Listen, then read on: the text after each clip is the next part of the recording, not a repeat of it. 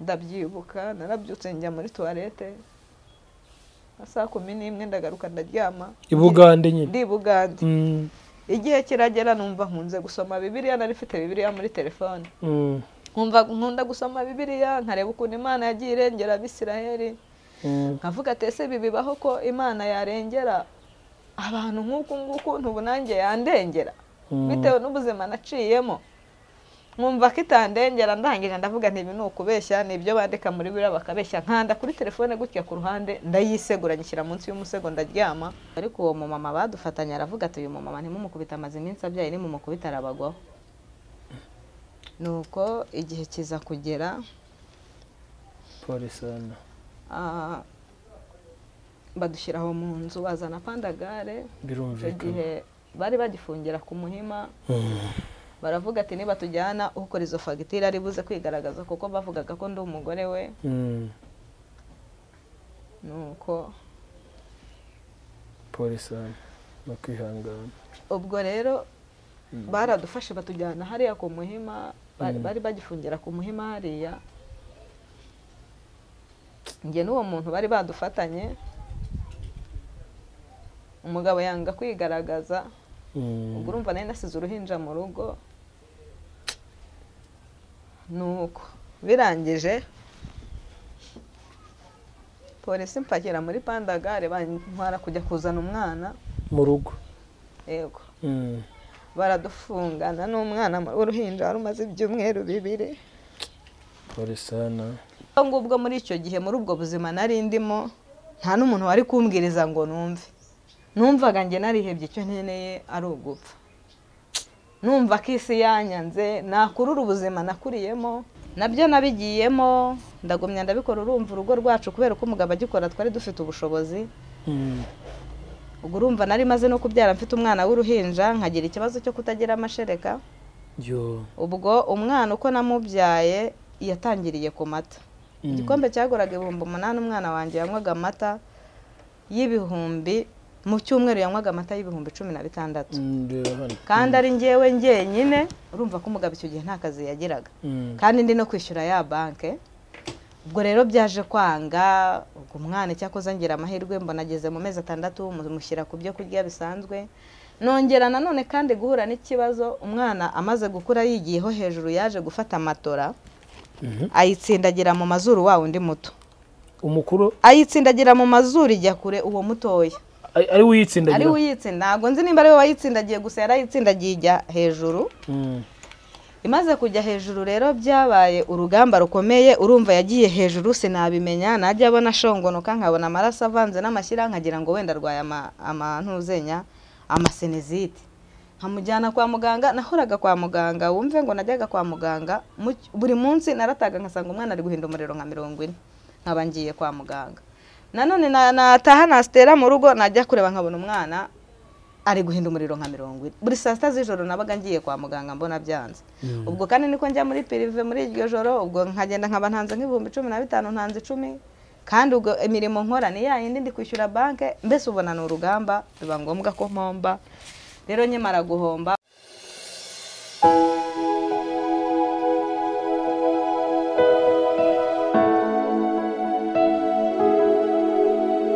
Reka tubashimire mwese abadukurikira muri hirya no hino ku isi tubasabire umugisha w'imana. Njye ndikuzo emi si ubwa mbere turi kumwe n'ejo twari kumwe n'ejo bundi n'ubushize tuzakomeza kuba turi kumwe. Mu gihe cyose imana idutije ubuzima bitewe n'ibyo imana yadukoreye rero dufite umunezero mu mutima. Ndanezerewe ku bwanyu ndasabira umugisha umuntu wese ureba ihumure tv imana iguha umugisha. Uh, waba waraje kureba ihumure tv wenda kubera video wakunze cyangwa se ikiganiro wakunze n'uyu munsi ukaba wongeye kugaruka imana umugisha ndagusabiye ni ukuri hanyuma rero tugiye kuba muri turi muri iki kiganiro bita ihumure n'ubundi no guhumuriza abantu no kuvuga imirimo y'imana n'ibitangaza kugira ngo bigire benshi bifasha. Niba uri mu gihe cy'umubabaro ariko hari ikindi gihe imana iri kukuremera cy'umunezero. Nanone kandi mu gihe cy'amarira hari ikindi gihe cyo guseka. Kiri bugufi kugira ngo nawe useke.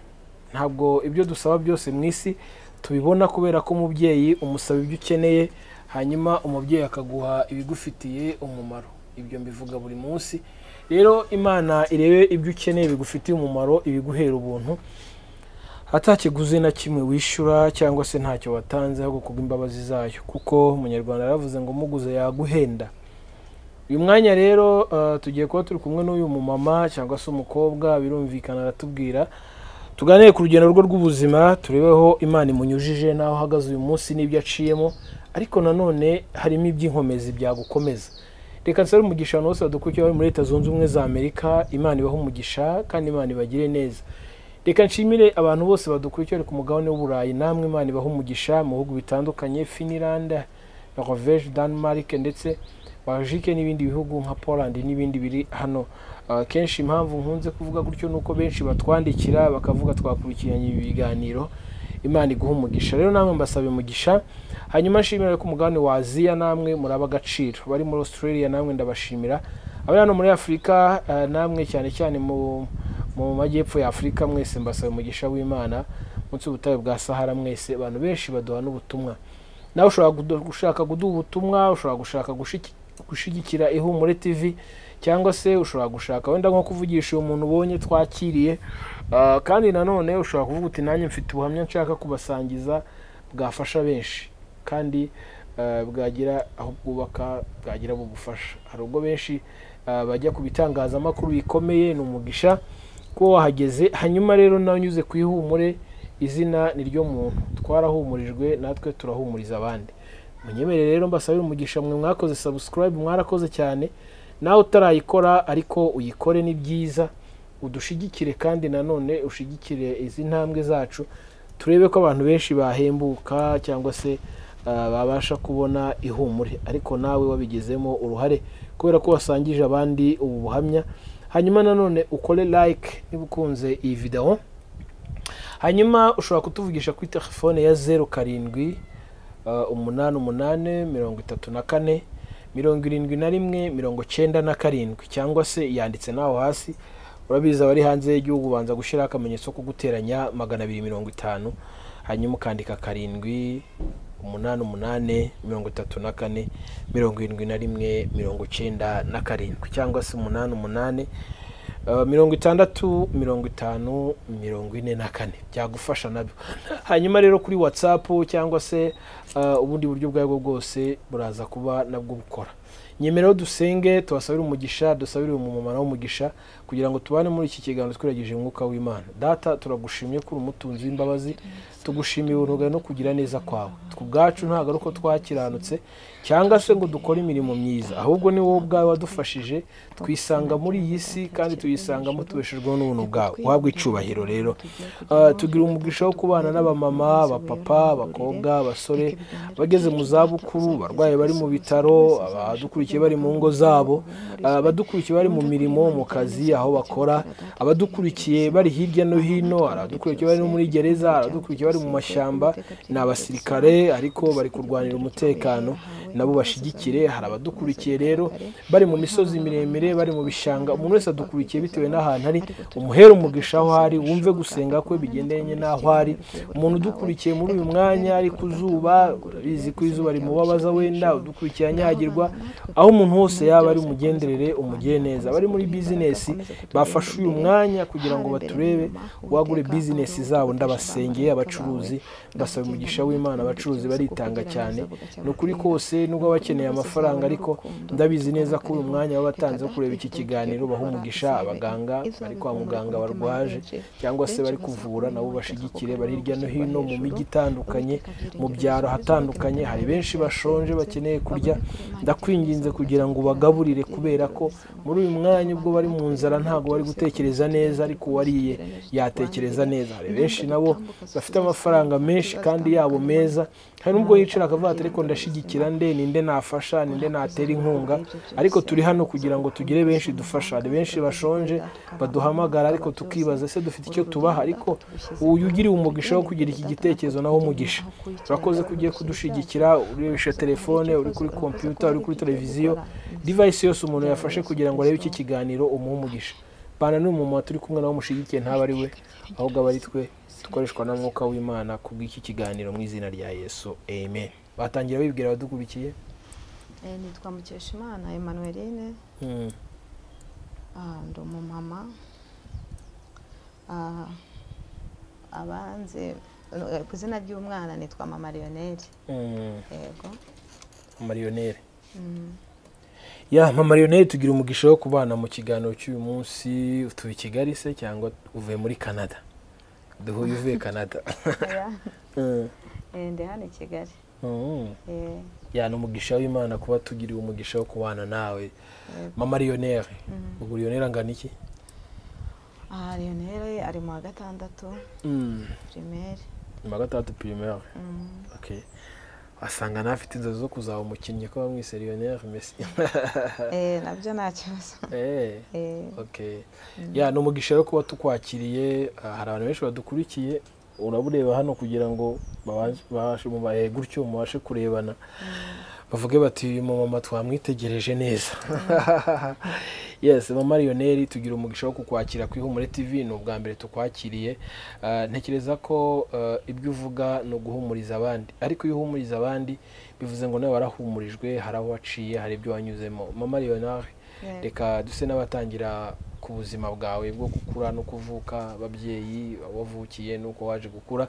N'uko waje kwisanga uri mama mariyoneri Messi cyangwa se wenda ufite n'abandi bana na byo turi buze kumenya muri iki kiganiro nyemera ngo hikaze karibu. Mm. Mm. nk'uko nabibabwiye nitwa mukeshimana emmanueline. Mm. navukiye mu karere ka kamonyi umurenge wa nyarubaka. Umurenge wa nyarubaka. Akagari ka ruyanza. Umudugudu wa wa gatagara Mm. Eh, aho ni ho navukiye Mm. Mm. ukura gute rero tubwira inkuru y'ubuzima bwawe inkuru y'ubuzima bwanjye ni inkuru igoye ariko muri byose nshima imana ko byose twabiciyemo tukaba tugereje uyu munsi. Ah, navutse ndi umwana mvuga ku amazina y'umubyeyi ni ngombwa kuyavuga ndakura nagize ubwenge mbona mbana na mama na papa. Mm. Eh, byari urugamba rwari rukomeye haba kuri njyewe no ku bavandimwe banjye byari bigoye. Rero nakuze mbona byari ibintu bigoye. Mama wanjye yatwitagaho agakora ibishoboka byose. Papa? Twari abana umunani Mm. harimo impanga ebyiri Mm. abakobwa babiri Mm. n'abahungu batandatu ariko abahungu babiri barapfuye b'impanga ubwo rero urumva ko dusigaye turi batandatu ubu bariho abavandimwe bawe Eh, usibye abo babiri abandi bariho Mm. rero nakuze hari urugamba rukomeye mama wanjye yabanaga na papa ariko mu buryo bugoye hahoraga ari intambara buri mu- buri munsi barwana Mm. mama ahora yahukana yahukana tukamusanga iwabo tukagendayo bari baramuhaye inzu y'uburushyi yaba yahukanye yagiye iwabo tukamusanga muri ya nzu tukabana nawe igihe kikagera papa akagaruka kumucyura papa yari umusinzi yanywaga inzoga cyane Mm. Ah, iminsi igenda yisunika mama wanjye turakomeza kuba kubana muri ubwo buzima ariko igihe cyaje kugera ah, igihe cyaje kugera maze gukura haciye iminsi haba intambara. Intambara yabaye muri mirongo cyenda na kane. Ya jenoside Mm. icyo gihe intambara iba twebwe mama yari yarahukanye twaramusanze iwabo. Ariko papa yabanaga n'abana babiri b'abahungu. Abandi twaramusanze mama iwabo Mm. rero intambara yarabaye natwe twari mu bahigwaga Mm. byari urugamba byari bikomeye. Nu- nuko mama ariko atwitaho imana iraturinda. Mu buzima bubi twari turimo bugoye no kurya byabaga biba ari ikibazo. Ariko imana yagiye ihaba.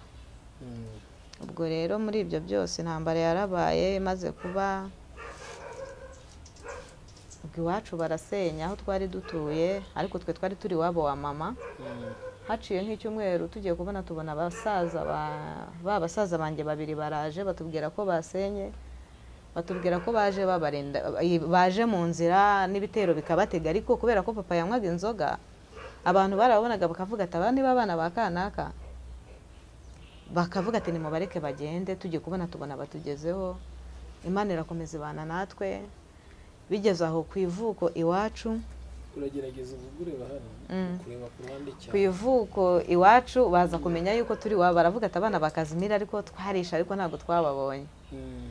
baravuga bati noneho ba- bashobora kuba bari iwabo wa nyina ariko igihe kimwe hari umugabo waje kuhaca abona musaza wanjye aragenda abwira abantu b'iwacu ku ivuko ababwira yuko yabonye musaza wanjye ahita avuga ko bari turi iwabo wa mama. Biba ngombwa yuko bandika igipapuro basaba ko bagomba kutwica cyangwa se bakazaza bakatwicira ariko imana yarahabaye igipapuro baracyanditse batanga n'umunsi wo kuza kutwica ariko ubwo bari babwiye mama ngo ba- abasaza be barateranye baramubwira ngo aba bana wowe turakwemera bajyana ubashyire iwabo aho bavuka wowe ugaruke. Ndarababwira ati ariko ngewe nashatse ntishingiye mwaranshingiye aho mwanshingiye murahazi namwe abana mubafate mubajyane Mm. mama wanjye rero akajya aza arira tukabibona akaza akabibwira muri we twari tukiri batoya ariko njye narabyumvaga nari mfite ubwenge Mm. nuko rero umunsi wo kuza kutwica bari bavuze ko umwana umwe bazamwicira ibihumbi icumi icyo gihe Mm. mama aravuga ati ubwo nibaza bazakora icyo bashaka amafaranga niba yabura nanjye bazanyice Mm. Ubwo rero byabaye ngombwa yuko mama aba aho ngaho itariki zo kuza kutwica barazitanze. kugira ngo bice umwe yari ibihumbi icumi. Yego. Yari ibihumbi icumi kandi mbese byari bigoye. Batayatangaza batayatanga ubwo nyine ubwo n'uwo muryango turimo nabo ukagira ibibazo. Mm. ariko bo uko byagenze nyine bo babitegekaga mama ngo natujyane mama akanga kutujyana. Mm. ubwo rero igihe cyaje kugera umunsi wo kuza kutwica ni ho abasirikare b'inkotanyi batugereyeho. Mm. ubwo byari nka nijoro tubona abantu barimo gufata ibintu bari guhunga. Twebwe babwira mama ati abo bana ntubajyane kuko ntiwabarengana i nyarubaka. Aduhamisha mu rugo. Hari bukeye bwaho turaharara turi twenyine abandi bahunze. Na mama turi kumwe bukeye bwaho mu gitondo mama aratubwira ngo niduteke ajya ku muhanda gatoya ngo yumve uko bimeze. Haciye akanya tubona aragarutse araza dufatanya guteka. Hari nka mu ma saa sita tubona inkotanyi zitugezeho ziraza ziradutwara duhungana n'abandi aho bari bashyize abandi natwe abariho badukira turahunga tugeza bugesera. Igihe kiragera turahunguka tumaze guhunguka dusanga umuryango abantu benshi barapfuye. Ariko papa we yari akiriho Mm. na nari mfite na ba shangazi nabo bari bariho na data wacu umwe wari wariho hapfuye ba data bacu babiri na nyogokuru ubyara papa abandi bo bari bariho nuko ubwo rero biba ngombwa yuko tuva iwabo wa mama tugaruka iwabo wa papa Mm. ariko mama agahora afite ikibazo kubera papa yari umusinzi akaza akamukubita hari n'ikindi gihe kigeze kuba papa aza ashaka mama yasinze aramubura arakomanga ndamufungurira arankubita bimwe byo mu rwego rwo hejuru hamwe yankubise nkajya no mu bitaro nkamaramo ibyumweru bibiri ariko imana yarahabaye irahandindira Mm. iwacu rero bwite twakuze ari abakaturike urumva mama na papa ni ho basezeraniye Mm. ubwo rero igihe cyaje kugera ngi- ndakura ngera igihe cyo guhabwa ukarisitiya mpabwa ukarisitiya iminsi igenda ishira nyine mama ari urugamba maze kugira imyaka icumi mama wanjye yaje kwitaba imana. Arapfa dusiga tukiri abana batoya. Ubuzima bwari bugoye cyane. Byari urugamba. Nubwo wabasha kubibwira umuntu wese ngo abyumve Mm. kuko akimara gupfa papa yahise azana undi mugore. Eh. Yahise azana undi mugore nta n'amezi atatu ashize. Umugore adufata nabi cyane byari urugamba rukomeye ariko igihe kiza kugera wa mugore baramwirukana papa azana undi mugore. Ubwo urumva abana twese twarataraye Mm. tuza muri uno mujyi wa kigali. Ndabyumva. Twahuye n'ubuzima bukakaye cyane ku buryo ntabona uko nabivuga bwari ubuzima bugoye bugoye cyane. Mm. ntawamenyaga uko umwe yabagaho ariko ubwo icyo gihe mama amaze gupfa njye naje kuza i kigali. Mu rugo mpasiga na musaza wanjye nkurikira kuko njye ndi umwana wa kabiri. Mm. na musaza wanjye nawe yari hano i kigali yarogoshaga. Mm. nuko nanjye igihe kiragera nzi kigali nari mfite shangazi masenge utuye kacyiru. Harya ubwo wari uwa kangahe njye nari umwana wa kabiri. Okay Mm. Ah, nuko igihe rero kigeze muri uko kuza i kigali tuhasiga abana bato urumva byari bikomeye. Ntangira ubwo urumva nari mfite imyaka nka cumi n'ibiri ntangira ibintu byo gucuruza nkajya njya kurangura ibintu kiruhura nkaza nkacuruza. Hariya munsi ya gare hari ahantu bacuruzaga ibirayi nkacuruza. Hari umumama wari uncumbikiye nuko uwo mumama turabana igihe rero cyaje kugera ngize imyaka nka cumi n'itanu urumva nubwo twabanaga nawe byabaga ari urugamba nta kintu yabaga afite gifatika. Mm. Yanderanaga n'aba- na- n'abandi bana nababereye mukuru wabo mbese a- kuba hari urugamba kurya ari ikibazo Mm. ariko ngewe kubera ko ntaho nari mfiteho kuba kuko igihe cyaje kugera na shangazi tubiva ngombwa ko dutandukana Mm. mbana n'uwo mumama umumama turabana rero urugendo rwanjye rw'ubuzima mu kubana aho twabaga njye n'uwo mumama habagamo umuhungu wakoraga mu mujyi yakoraga akazi k'ubukarane. Ubwo urumva uko nakoraga ngenda nkarangura utuntu tw'udupuwaro tw'utuboga hariya kiruhura niko nazaga gucuruza aho munsi ya gare. Mm. ariko nabona amafaranga kuko nari mfite abavandimwe. Wenda nkagura nk'akenda kamwe nkakabika nkagura nk'akandi nkakabika. Ya myenda nabona imaze kugwira. Mm. bose mbona buri mwana wese namuguriye bikaba ngombwa ko ntaha. Rero igihe cyaje kugera ngura imyenda ndayibika imaze kugwira mpanga gutaha. Hagati aho ngaho rero hari hari umuhungu uba muri icyo gipangu abona ndi gukaraba araza arambaza ati ese kuri koga ugiye hehe ndamubwira ati ngiye kujya mu rugo. Ati ese iwanyu ni hehe? Ndamubwira ntiwacu twavugaga igitaramo icyo gihe. Mm. ni igitaramo. Atese ko ngewe mvuka igisenyi? Igitarama nkaba ntahazi wareka tukajyana. Mhm.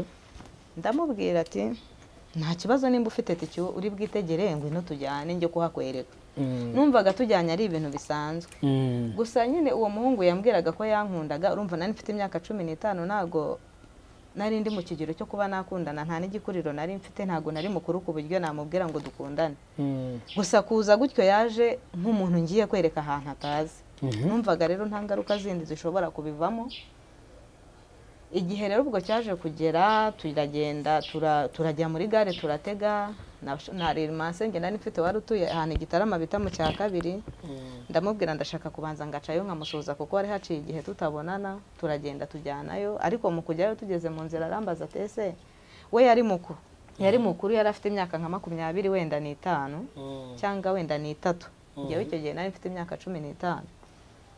Arambaza ati ese ko tujyanye kwa shangazi wawe? Nakubaza ko ndi uwahehe uramubwira ko ndi uwahe ndamubwira ati rero ati ndamubwira nese ndavuga ko uraye ndababwira ko uri inshuti yanjye. Bambwira ati nuvuga ko ndi inshuti yawe?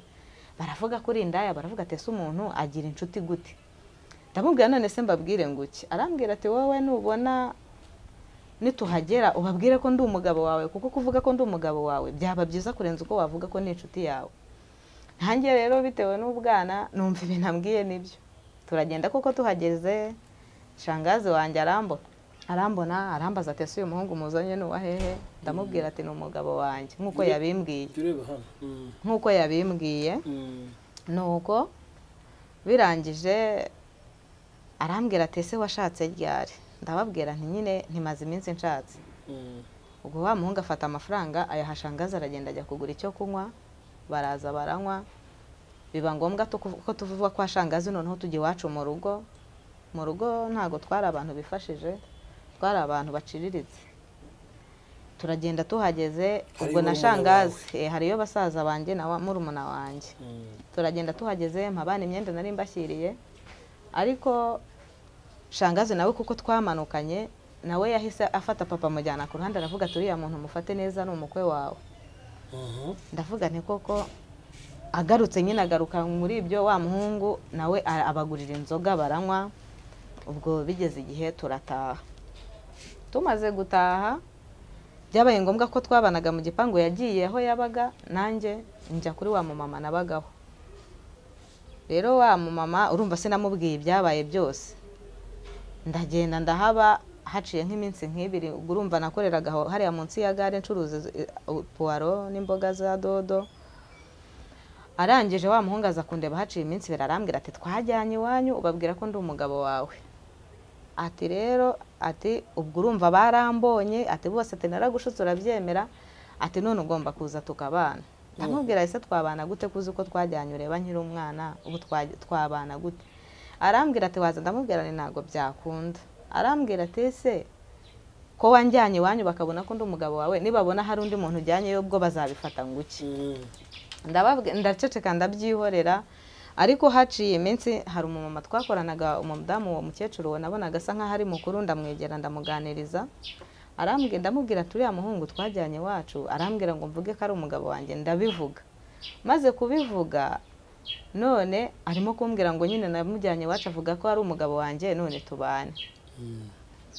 Umukecuru arambwira ariko akaba yari azi ubuzima nari ndimo ko bwari ubuzima bugoye. Urumva mu myaka cumi n'ibiri cumi n'itanu uri gucuruza hariya munsi ya gare byari bigoye. Arambwira ati ese kureba ubuzima bwawe bugoye nta n'ahantu ufite ho kuba? Nimba uriya muhungu afite akazi ukaba ubonamo abana akakugaburira byibura ukabona aho uryama urumva no kubera ubupfubyi udafite hepfo na ruguru.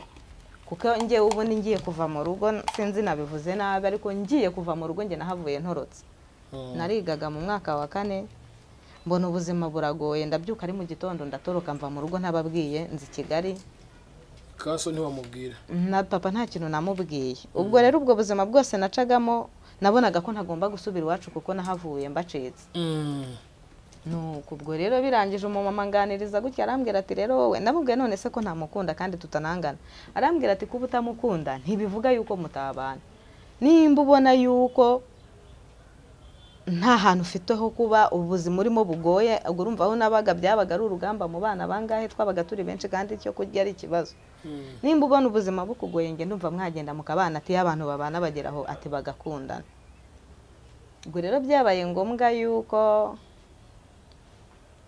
byabaye ngombwa yuko uwo mukecuru angira inama nanjye nyitekerezaho ndavuga ati ubuzima buragoye kurya ni ikibazo. Aho kuba naho ni ikibazo. Ndavuga ati umugani wagenda tukabana. Yari umukarane akorera mu mujyi nuko agarutse kubimbwira noneho mba ndemeye. Ngo tuba turagiye turabanye. Uwo mugabo nashatse rero ubwo ngubwo urumva nari mfite imyaka cumi n'itanu hahandi nagize inda. Nagize inda igera amezi atandatu ntazi ko ntwite. Nkajya numva nk'ikintu kigaragura nkumva nk'ikintu kibyimbye ariko nkaba nkavuga ati ahari wenda n'inzoka. Ntutekereze ko utwite simbitekereze wari ukijya mu mihango n'ibihe byarahagaze? Ngewe nagiye mu mihango uwo mugabo tubana. Si- noneho ntisinajya mu mihango ngo mbi mbese nayijemo tubana kandi nabwo mpita nsama. Sina- ubwo rero urumva ko nari nkiri na mutoya sinamenye ibyabaye najyaga no kwa muganga mpora ndwaye bakambaza batese kuki uhora hano kwa muganga? Bakampa imiti ahubwo n'indiba yaravuyemo ariko imana yarahabaye. Nabo ntibagusuzuma ngo babimenye ubwo igihe cyaje kugera nyine kuko bahoraga babona nza kwivuza baza kunsuzuma bamfata ibizamini byose barambwira ngo ndatwite. Barambwira ati batese dukurikije ukuntu ungana ufite umugabo? Ndavuga ati "Na- narabihakanye ndavuga ngo ntawe kuko nari ndi muto cyane ni ibintu wabonaga nyine biteye isoni. Mm. arambwira ati none se nigute uvuga ko ntawe kandi utwite? Ndavuga ese natwita gute? Baturatwite. Ati ahubwo tubwire dukore impapuro niba ngombwa uyu muntu bamufunge. Nuko ndangije ndavuga ati n'ubundi nta kundi? Ndababwira ati yewe ati turabana tese murabana gufashe neza? Ndababwira ati nta kibazo. Mm. nuko barangije barabyihorera barambwira ati rero nukuza tukagukurikirana. Abaganga batangira kunkurikirana barankurikirana mpaka igihe kigeze ndigera amezi icyenda njya kwa muganga. Barankurikirana abaganga barankurikiranye cyane kuko bavugaga ati uyu muntu ntabwo azayibyara ariko imana yarahabaye ndayibyara Mm. Ubwo rero igihe cyaje kugera maze kubyara maze nk'ibyumweru bibiri hari ibintu umugabo wanjye yakoraga Mm.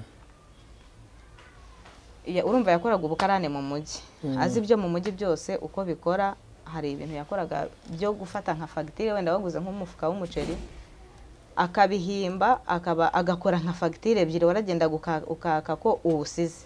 Mm. ibyo bintu rero nanjye abinshyiramo amaze kubinshyiramo ndabyibuka. Nari maze nk'ibyumweru nka bibiri mbyaye arantuma arambwira ninjye kumuzanira umuceri mu mujyi umuceri ndagenda njya kuwuzana mpageze nsanga uwo yatumye mbere bamufashe nanjye bahita bamfata. Baravuga bati ba- ubwo ariko uwo mumama badufatanye aravuga ati uyu mumama ntimumukubite amaze iminsi abyaye nimumukubite arabagwaho nuko igihe kiza kugera pole sana ah, badushyira aho mu nzu bazana pandagare. Icyo birumvikana. gihe bari bagifungira ku muhima baravuga ati niba tujyana ukora izo fagitire ari buze kwigaragaza kuko bavugaga ko ndi umugore we. Mm. nuko pole sana no kwihangana. Ubwo rero baradufashe batujyana hariya ku muhima bari Mm. bari bagifungira ku muhima hariya. Njye n'uwo muntu bari badufatanye. Umugabo yanga kwigaragaza. Mm. ubwo urumva nari nasize uruhinja mu rugo. Nuko birangije polisi mpakira muri pandagare bantwara kujya kuzana umwana. Mu rugo. Yego. Mm. baradufungana n'umwana w'uruhinja wari umaze ibyumweru bibiri. Pole sana ariko ndashimira amasenge yanyirukanseho. Ngusha yakoze ibishoboka byose nagombaga kujya santarari kuko umugabo yanze kwigaragaza. Arabura. Biba ngombwa ko badukorera dosiye batujyana kuburana. Kandi ibintu byose urumva byaraduhamaga umugabo yari yaratorotse aragenda. Ariko masenge abyirukankamo twari dufite n'umundi muntu babijyamo. Imana y'amahoro irahaba bagiye kutumanura tubona ntabwo batumanuye turataha. Uwo mugore wundi nta mugabo yari afite se we? Uwo mugore nawe nyine uwo mugore badufatanye n'umuntu badufashe ubundi turi batatu. Mm. Eh, ubwo rero byabaye ngombwa bamaze kuturekura uwo mumama nawe yari afite urugo wenda nabona iki kiganiro azabimenya Mm. Ah, yari afite urugo Mm. ariko uwiteka yarahabaye turafungurwa Mm. arimo asenge ubyirukansemo twagombaga no kumanuka avuga ati umwana agiye kumanuka agiye kumanukana n'uruhinja urumva byari urugamba. Ubuzima bukakaye ubwo byabaye ngombwa badufunguye sinzi aho umugabo yari yaragiye. Biba ngombwa yuko mfata umwana njya kuba i Muhanga. I ubwo muhanga kwande naragenda haba urumva nari nkiri muto yanabyaye mfite imyaka cumi n'itandatu i muhanga kwande none i Muhanga nagiyeyo nkodeshayo inzu aho hari hatuye masenge mu cya kabiri cya Muhanga ubwo ndagenda kabiri. nshakayo inzu ya bibiri Mm. nyibamo n'umwana nkajya njya kurangura inyanya n'ubutunguru urumva kubera gukura umuntu ari imfubyi Mm. nashakaga uko ngomba kubaho Mm. nuko ndangije rero biba ngombwa yuko ncuruza utuntu tw'inyanya n'ubutunguru kugira ngo mbone uko mbaho mbone n'uko nishyura iyo nzu ya bibiri. Mm. rero umugabo yaje kumenya ahantu undi amenya ko badufunguye agaruka kunshaka. Agarutse kunshaka rero ubwo aragaruka arambwira ati ibintu byo gukora biriya narabiretse. Nuko azana igare akajya anyonga nyine aba umunyonzi. Uramwemera agaruka mu rugo. Yego. Mhm. ubwo tubana muri iyo nzu akajya akora akazi k'ubunyonzi. Ubwo rero igihe cyaje hahandi muhanga aho twari dutuye biba ngombwa yuko tujya kuba ku gisenyi. Mwimuka hahandi ego mbambyaye n'undi mwana wa kabiri. Tumaze kubyara umwana wa kabiri ubwo urumva iminsi niko yisunikaga. Mm.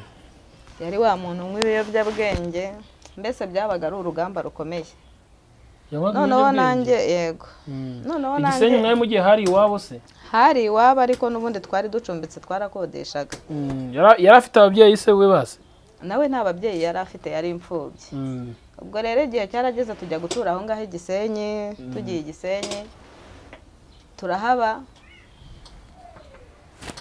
Turahaba ndagomeza nkajya nza nkarangura imyenda nkayicururiza ku muhanda kuko igihe cyaje kugera njya mu byo gucuruza imyenda ya caguwa Mm. nkajya nza i kigali nkarangura imyenda nkayicururiza ku muhanda aho twabaga iminsi igenda yisunika. Ariko urumva bitewe n'ukuntu twashakanye bitewe n'ibintu byose naciyemo ngewe uko iminsi yagendaga yisunika ntabwo numvaga njye mukunda numvaga ahubwo ndushaho kuba numva muri ngewe atandimo umwanzi.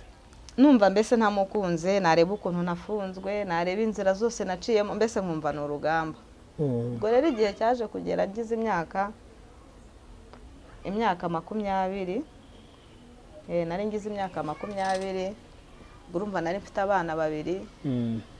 Eh, muri abo bana babiri rero nza kwicara ndamuganiriza kuko nabonaga ubwo buzima nta busaziramo ndamubwira rero twarabanye tumaze kubana tubana mu buryo nawe uzi unshutse. Mm. si twigeze dupanga ngo ngukunde dupange ibyo kubana twabanye nkiri umwana Mm. ari ukuntu ari wowe unshutse. Nagerageje kugira ngo tubane ndebe ko nanagukunda. Ndabona bitarimo gukunda rero ngiye kwigendera. Ubwo ariko ubwo nagiye igisenyi masenge aza kumenya ko nagiye igisenyi aravuga ati ese igisenyi ninde uzagusura? Ati wagerageje ukigarukira ubwo rero icyo gihe maze kubivuga naho nashangaza ambwiye ko ninjye yazanyakira. Byabaye ngombwa ko ntwara umwana uwari mutoya Mhm. musigira uwari mukuru ngaruka i kigali ubwo mageze nagiye atangiye gucuruza imyenda njya mu masoko yo mu ntara ndacuruza ndacuruza noneho ariko ubwo urumva muri icyo gihe tubana mfite maze kugira imyaka makumyabiri nari ntangiye kumva muri ngewe hajemo ikintu cyo kumva nakunda umuntu. Nareba nk'umuntu ajya wenda gutya mu muhanda nkamureba nyine nkabona numva mukunze. Mhm. ndavuga ati rero aho kugira ngo tuzabane wenda nkore nk'amakosa tubane wenda muce inyuma ahubwo ibyaba byiza twatandukana. Mhm. ubwo rero naje kumusaba mubwira ko kumukunda byanze mpitamo nyine ku- kuko dutandukana ndamubwira dutandukane ngende mba ukwanjye nawe wibere ukwawe wenda imana nibishaka ikamuha uwo numva nkunze cyangwa nawe imana ikaguha uwo ugukunze muzabana. Arambwira ati nta kibazo. Mfata ibintu byanjye n'umwana muto yaramperekeza njya kuba kwa masenge ndagenda ndahaba ndahaba. Iminsi irisunika rero igihe kiza kugera nza gukundana n'undi muhungu.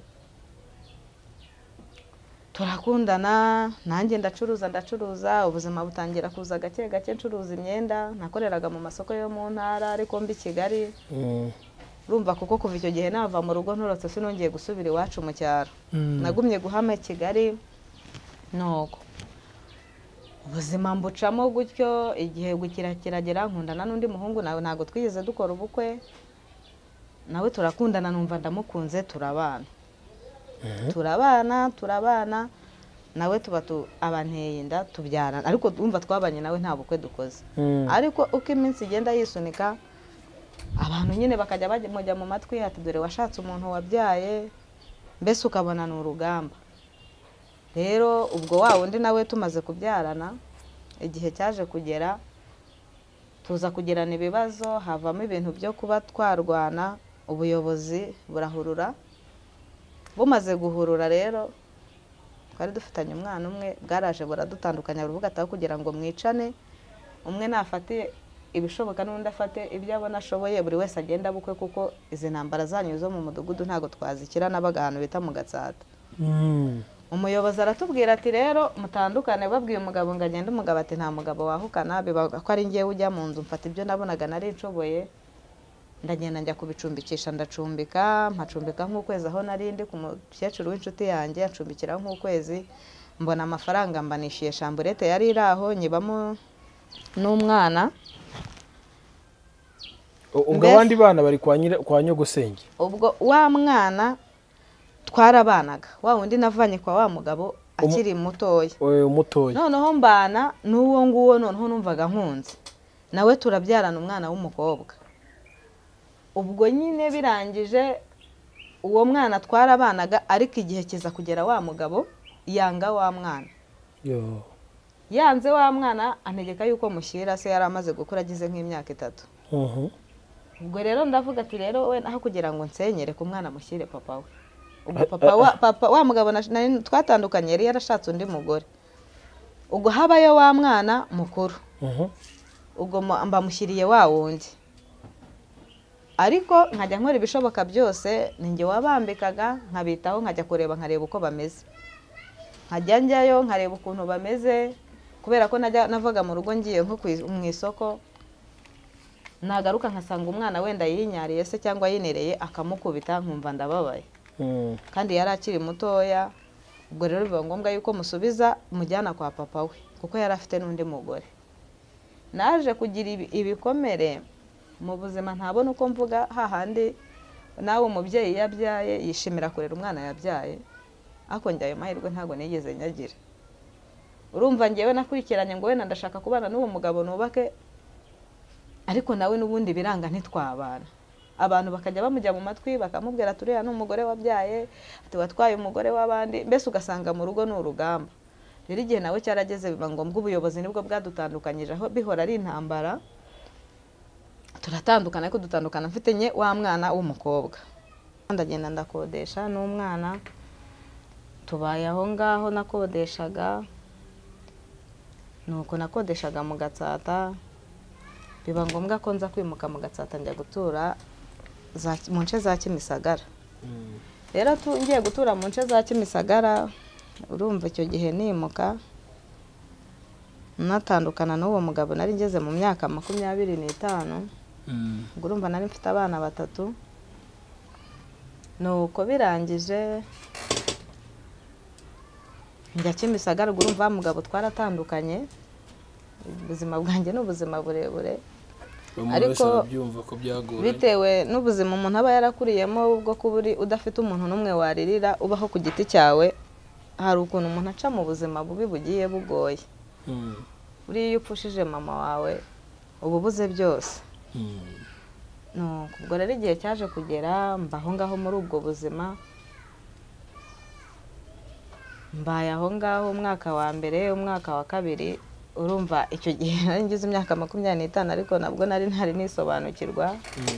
Ho neza ubwo hakaba hari umuhungu wari utuye aho ngaho nakodeshaga twari duturanye. Byaje kuba ngombwa rero yuko uwo muhungu dukundana. Mhm.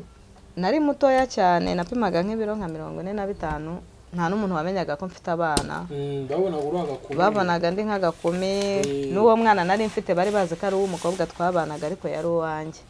N'uwo muhungu ankunda yabaga azi ko ndi umukobwa. Wibeshejeho udasabiriza. Eh, nacuruzaga imyenda kari ko kazi kanjye. Mm. na n'ubu kandi ni byo ngipfa kugerageza. Mm. ubwo rero umuhungu twarakundanye turakundana igihe kiza kugera turabana. Nta bukwe nawe twakoze. Mm. Turabana twimuka aho ngaho twabaga kuko twari duturanye n'iwabo amagambo ari menshi. Mhm. biba ngombwa yuko yaje twimuka kumenya ko ufite abana se? Yari abizi naje kubimubwira. mwabanye abizi neza ko ufite abana? Mm. Mm. yari abizi. Nuko rero yari na mutoya kuri njyewe. Mm. ariko yari abizi. Rero igihe cyaje kugera turimuka nyine twimuka iwabo kuko amagambo yari menshi tujya gutura mu gatsata. Mm. mu gatsata twarahabaye turahaba mu bushobozi buke twari dufite twari dukundanye.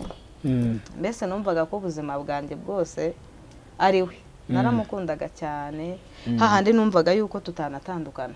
Mhm. numvaga ko nyine ubwo ngubwo ari we wanjye ari we mugabo noneho nshatse numva ngiye kubaka. Ubuzima nyine bugakomeza. Ubwo rero igihe cyaje kugera igihe cyaje kugera wa mugabo tu- turimuka tujya gutura mu gatsata imana iduha umugisha tubona amafaranga makeya twimuka mu nzu twabagamo twakodeshaga inzu y'icyumba na saro turimuka tujya mu ya bibiri na saro ku muhima curuza imyenda nawe yacuruzaga inkweto. Mm. nuko imana iduha umugisha. Igihe rero cyaje kugera iwabo utuma tubyara umwana uwo mwana bita liyoneri Mhm. urumva n'umwana wa kane Mm. liyoneri rero amaze kuvuka imana isa nk'aho iduhindurira ubuzima tuva mu nzu twabagamo y'icyumba na saro tujya kuba mu nzu y'ibyumba bibiri na saro y'ibihumbi mirongo irindwi Mm. turahaba iwabo nyine baramubwira ati dore hano hari ikibanza papa bamuha ikibanza turacyubaka twubaka inzu kimisagara inzu iruzura inzu tuyikora neza dushyiramo amakaro dukora mbese inzu nziza y'ibyumba bine na saro yari afite ubuzima nawe usa neza mukora byari rwose dukora neza nta kibazo. Ariko ya satani ngendaho n'ubundi biba ibibazo ko twari tugize se ngo ibintu byakunze noneho? Nanjye nabonaga byarakunze pe. Dutangiye kwizera ko ibintu bigiye mu buryo. Nabonaga byarakunze nta n'umuntu wabonaga ko ubwo buzima bwahinduka ku bari batuzi. Wabonaga ko ubuzima ari bwiza nta cyabuhindura. Dutangiye nanjye nabonaga ko mvuga byakunze nti uko biri kose dufite inzu mu mujyi wa kigali ntidukodesha yewe umugabo turakundanye nta kibazo na kimwe. Ariko nyine na byo igihe cyaje kugera satani abyivangamo dutangira kugirana ibibazo mu rugo ibintu biba ibibazo nuko ndangije rero mbona ari ibibazo mu rugo indura za buri munsi njya mu bintu byo gusenga. Wari udakijijwe? ntabwo nari nkijijwe ibyo byose byabaga ntakijijwe ariko nyuma yaho icyo gihe tujya kwimukira aho handi mu ruvumera na wa mugabo wa mbere twabanaga. Naje kujya mu itorero bita gosheni ndanabatizwa ariko mu by'ukuri nubwo nabatizwaga wenda numvaga ari ukujyamo ngasenga ntabwo nari mbisobanukiwe neza. Na nyuma yaho rero ubwo urumva tumaze gutandukana maze no kwimuka i muhanga mm, mm, nkajya za gisenyi nkagaruka za kigali sinongeye gusenga. Najyaga gusenga kwa kundi uvuga uti wenda hano hari icyumba nkajyayo nkasenga nkitahira ariko ntago nabaga mbishyize imbere gusenga. Ubwo rero igihe cyaje kugera mbona mu rugo ari urugamba bikaze rugiye gusenyuka ndavuga ati noneho reka njye gusenga. Ndajya njya gusenga hari abamama twasenganaga. Imana ikajya imbwira ati urwo urugo uri kureba nta ruhari senga imana nkubakira urugo. Kajya ambwira ati senga imana nkubakira urugo kuko urugo nta ruhari ntanjye nkavuga ati ese urugo nta ruhari twarubatse inzu? Ibyaba byose hagati n'umugabo nzihangana ariko urugo ndarufite. Ubwo rero naje kujya mu bintu bya kirokore mwarasezeranye se ntabwo twari twarasezeranye Mm. Yego. ubwo rero igihe cyaje kugera ndongera ntwita indi nda undi mwana w'umuhungu njyana undi mwana wa gatanu Mm.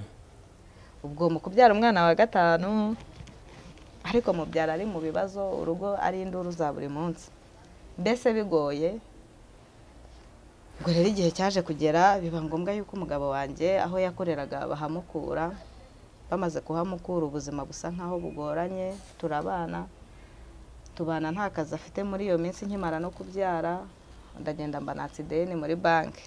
Mm. ubwo natse ideni muri banki nishingiwe na masenge na musaza wanjye. Kuko nabo umusaza wanjye yarakoraga njyaka muri ebe banki maze kuryaka urumva naryatse mbana n'umugabo ndishyira mu bucuruzi nakoraga ariko icyo gihe umugabo wanjye nta kazi yari afite.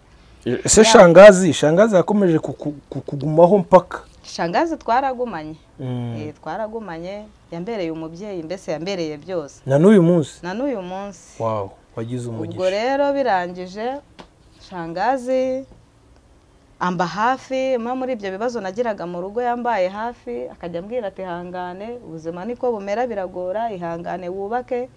Ubwo ngiye muri ibyo bintu by'ikirokore rero urumva ubuzima bwarahindutse. Ngiye mu by'ikirokore urumva kwambara amapantaro nambaraga amapantaro nambara utuntu tugufiya mbese ndi umuntu uri aho w'umusitari. Ariko urumva ngiye mu byo gusenga urugo mbona ruri mu marembera byabaye ngombwa ko bya bintu byose mbireka nkajya nambara amakanzu n'ibingutiya birebire kuko aho nasengeraga niko byagombaga kugenda. Mm. umugabo wanjye rero akajya agenda avuga ati umugore yarananiye ati umugore yarasaze ati noneho urebye ibintu asigaye yirirwa yambaye ati uriya nta hantu ntamujyana nta n'ahantu tuzongera kujyana. Ubwo umugabo rero wari inshuti yaraza arabinyongorera arambwira ati umugabo wawe yavuze ko nta hantu azongera kukujyana bitewe n'ukuntu wigize. Akimara kubimbwira ndavuga nti none se kuko umugabo nanyanga urumva sinari nsobanukiwe ibintu byo gusenga neza najyagamo ariko nkumva nyine ari ukujyayo bisanzwe ntago mbese ntago nari ndimo neza mu byo gusenga. Mm. mu by'ukuri ubwo akaguru kamwe kabaga mu rusengero ariko akandi kari hanze. Mm. ubwo rero igihe cyaje kugera uwo mugabo abimbwiye ibintu byose ndongera nsubira kwa kundi nari imeze nsubira mu mapantaro nsubira muri bya bindi byose muri ya myenda utubari ntusubiramo kuko umugabo wanjye twarasohokanaga tukajyana mu tubari tukagira gute byose ndongera mbisubiramo. Mm. rero ibyo ngibyo nkimara kubisubiramo urumva ko imana yari yarambwiye ngo nkurikira unsenge nkubakire. Ariko ibyo sinabiha agaciro ahubwo mpa agaciro ibyo abantu baza bakambwira satani ubwo yabaga yabakoresheje nanjye mba ngendeye muri ibyo ngibyo gusenga mba ndabiretse. Rero nkimara kubireka byabaye urugamba rukomeye natangiye mbona mu kazi ndi guhomba mbona ni urugamba mu kazi nkabona ndimo ndahomba kandi urumva nafashe amafaranga ya banki nari narafashe miliyoni ebyiri na magana cyenda abanyishingiye ni abo ngabo ni masenge ni musaza wanjye. Ya mafaranga rero igihe cyaje kugera mbura ubwishyu. Nakoreraga mu isoko nyabugogo biba ibibazo kandi ubwo nabaga mu bimina bintu bitanga buri munsi. Biba ngombwa ko amafaranga mbona abuze mbona biranze kwishyura banki nishyuyemo nishyura bigeze aho birananira. Biba ngombwa ko mva mu myenda nacuruzaga njya gucuruza ibintu by'imboga kuriya umuntu abyuka saa cyenda. Nabyo nabigiyemo ndagumya ndabikora urumva urugo rwacu kubera ko umugabo agikora twari dufite ubushobozi. Ubwo urumva nari maze no kubyara mfite umwana w'uruhinja nkagira ikibazo cyo kutagira amashereka. Ubwo umwana uko namubyaye yatangiriye ku mata. Igikombe cyagoraga ibihumbi umunani umwana wanjye yanywaga amata y'ibihumbi mu cyumweru yanywaga amata y'ibihumbi cumi na bitandatu. Kandi ari ngewe ngenyine urumva ko umugabo icyo gihe nta kazi yagiraga.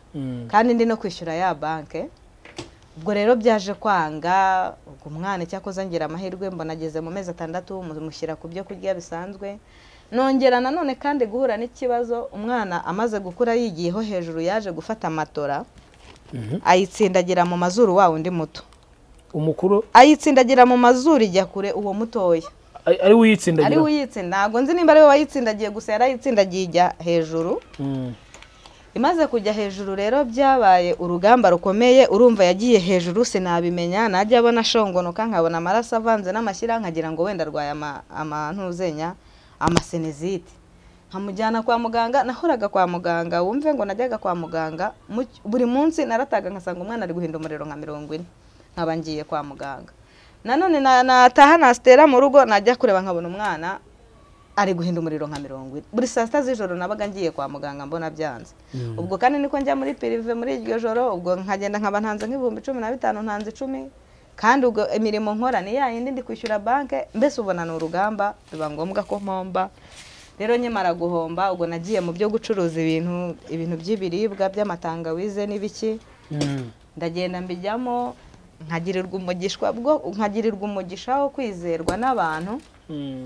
Rero byaje kuba ngombwa yuko ngeze muri ibyo ngibyo abantu baranyizera bakankopa nkajya mu bimina nkajya ngumya nkishyura banki ariko noneho biza kugera kuko amafaranga banki yasabaga n'ibyo nacuruzaga byari bitandukanye ntabwo nari kuyishyura.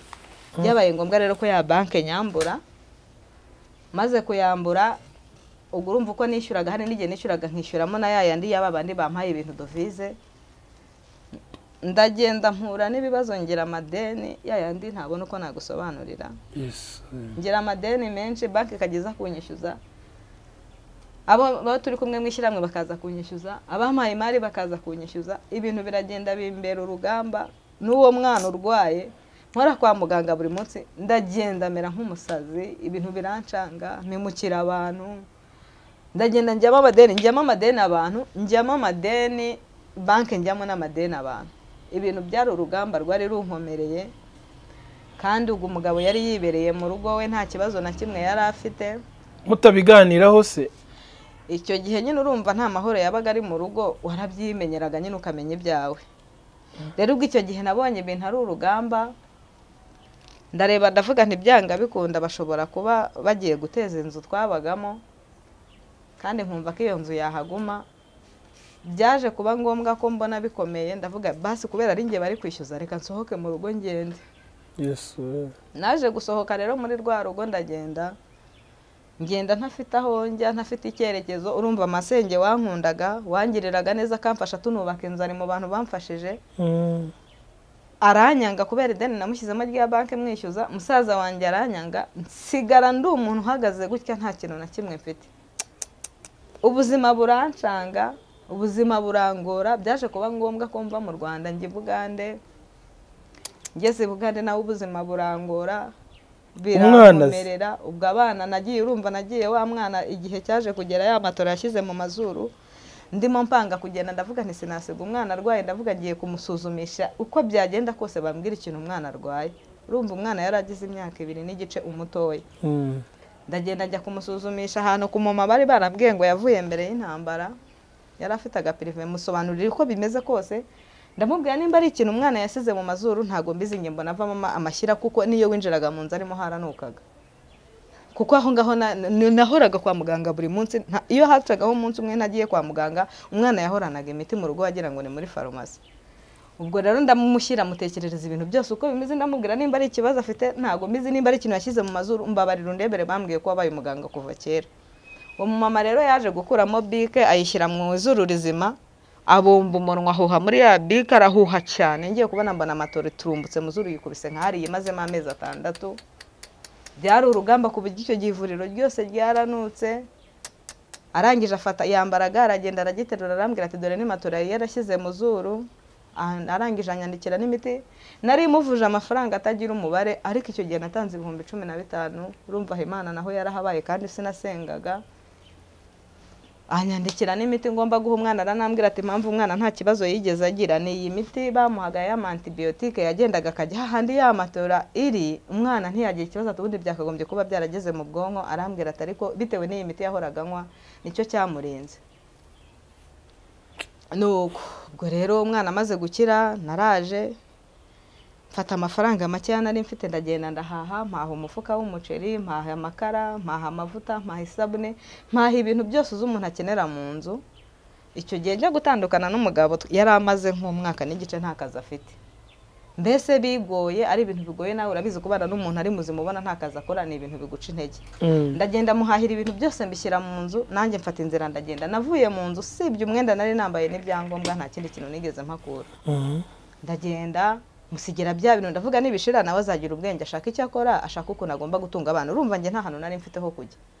Nubwo nagendaga gutyo sinavugaga ngo wenda nkodesheje inzu ngiye kuyibamo. Kumva ugiye nanjye sinzi aho nari ngiye gusa naravugaga ngiye kugenda mve mu gihugu cy'u rwanda nzagwa ahantu kure abantu batanze. Nibwo buryo nagiyemo. Njye sinumvaga ngiye ngiye kubaho n'ubundi numvaga ngiye nkajya gupfa ariko nkapfira mu bantu ntazi nanjye batanze. Nibwo gufata umwanzuro gutyo ndagenda ndagenda njya i bugande ubuzima bwaho burangora bimbana ibibazo. Njya mu bintu by'ubusinzi nkora ibibi byose bibaho numva narihebye ubuzima numva ko bwahagaze mvuga nti n'ubundi byararangiye. Ndavuga nti shangazi kuko icyo gihe shangazi yajyaga aza nyabugogo kubera iryo deni akaza akambwira nabi. Nkababwira nti nyamara nzigendera ntimuzongere kumbona ubwo rero uko nabibabwiye ni nako nabikoze naragiye ngo byibura n'umuryango wanjye kuko sinababwiraga ikibazo mfite ngo bacyumve Mm. Eh, wenda igihe gishobora kuzagera ukaza nkaguza na shangazi wanjye mukaganira ni we wakubwira ubuzima bwose naciyemo Mm. nuko ndagenda njye bugande ubuzima burangora biranga ariko nkakurikirana amakuru nkumva uko abana bameze kuko aho twabaga twari dutuye hari iwabo iwabo bari baraduhaye ikibanza cyegeranye n'iwabo. Mm. kandi numvaga yuko abana bari mu muryango Mm. nta kibazo iwa kwa sekuru batetse babagaburira. Urumva ngewe sinari gufata abana ngo mbajyane kwa muka data. Mm. kandi nanjye urumva nta cyerekezo cy'ahantu nari mfite. Ho kujya. Gusa naravugaga ngo nindamuka ngiye imana ikangirira neza ikagumya ikampa ubuzima wenda nzajya mbitaho mu bushobozi nzabona se cyangwa twongere tunabane. Ariko ibyo ntabwo byigeze bikunda.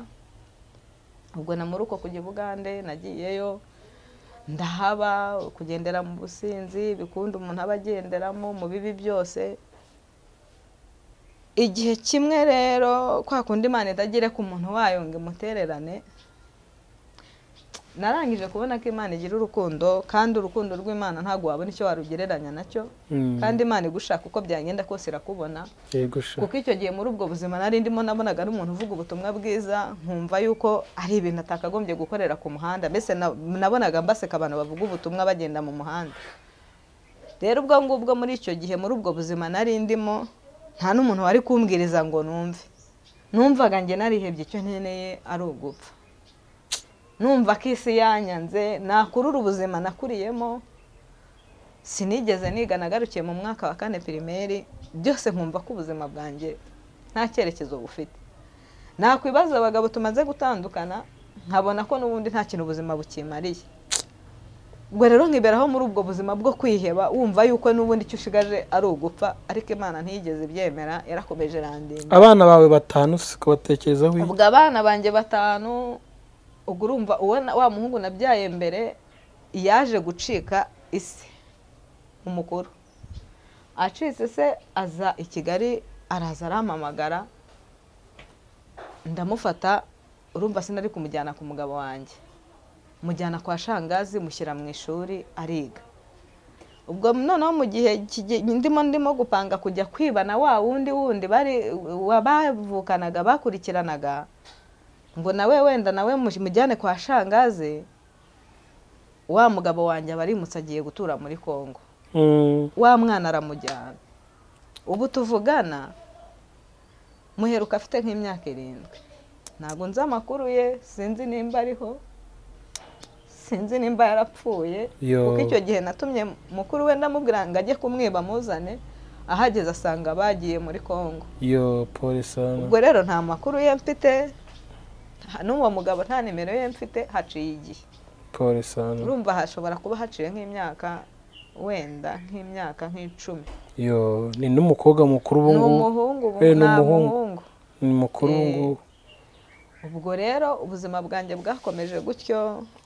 Uri bugande noneho rero. Ndi i bugande ubuzima ni hatari.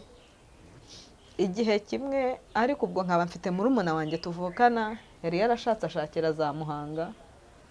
Barankundaga cyane. Mara imyaka ine najya kubasura.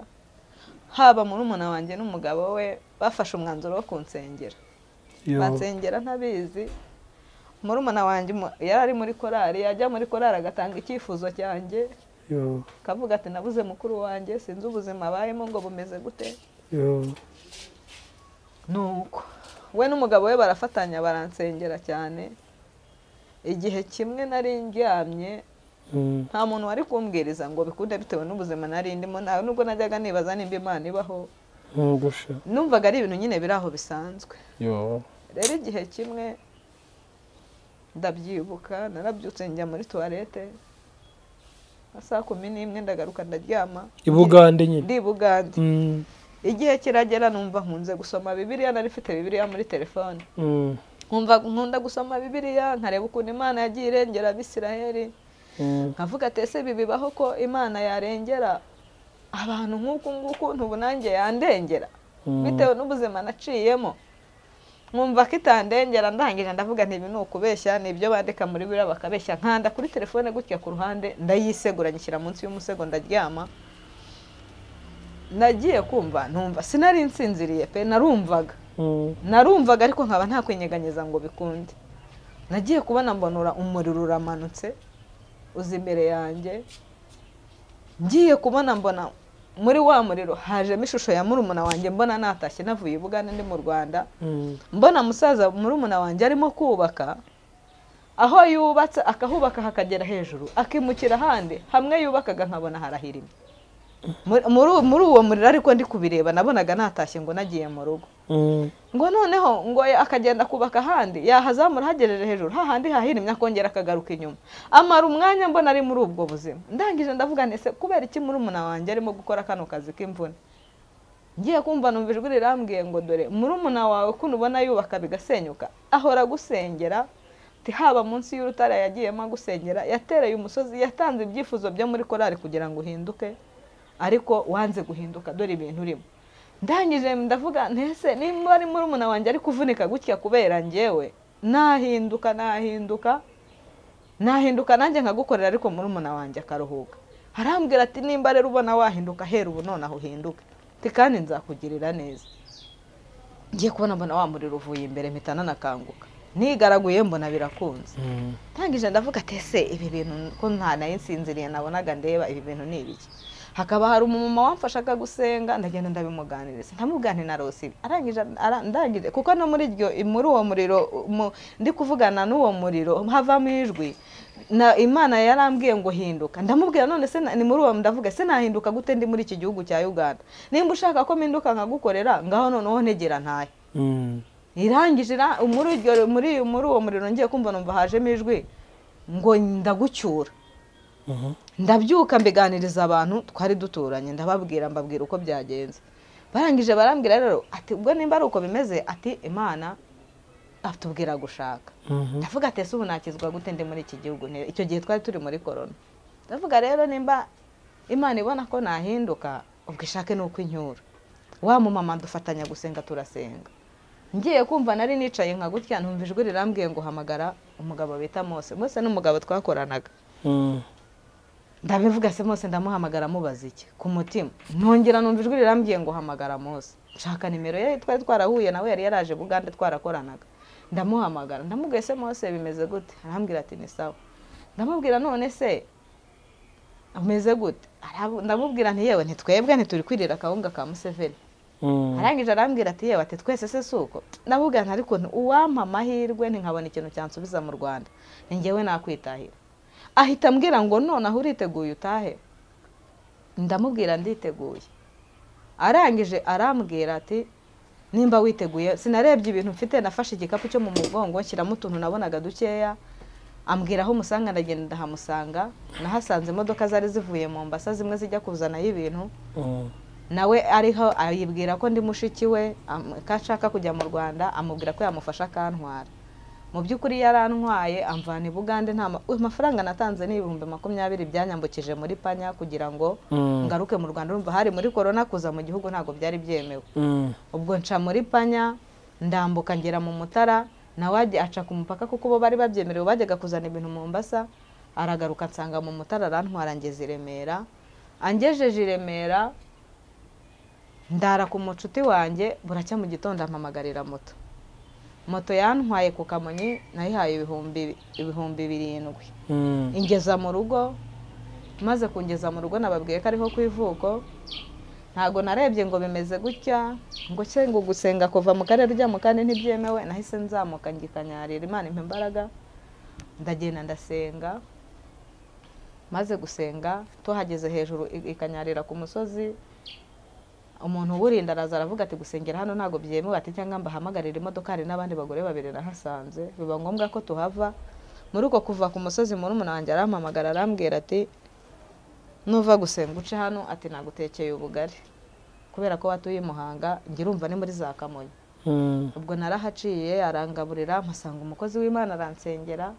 Arangije arambwira ati ubuzima bwose waciyemo. Ati n'ubuzima bwose uri kunyuramo ni imana yabukunyujijemo atariko izakugirira neza. Arambwira ati kandi nukomera ugakomeza ugasenga uko bizagenda kose imana izakurengera. Rero ntabwo nacitse intege narakomeje ndasenga. Ubuzima burangora. Nakundaga kuzamuka uriya musozi bita banguka ngo utabare buri gitondo. Mm. kubwo icyo gihe covid imaze kurangira bibaye barekuye korona irangiye byabaye ngombwa yuko mva ku kamonyi. Ndaza nkodesha inzu ya shamburete uyikodesha nyikodesha ku gitega. Mm.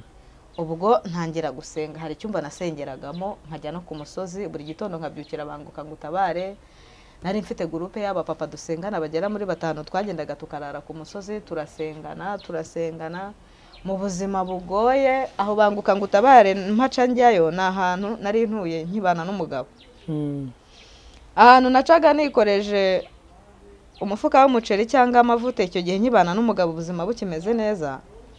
Iyo najyaga gusenga nkagirirwa ubuntu kuko hari igihe cyageze mbaho ni nko kurya amahanu niko nabivuga. Mm. nkaba nagenda nko mu nzira mbwira imana ntese ko nshonje ndarya iki? Nkabona ntoraguye nk'igihumbi.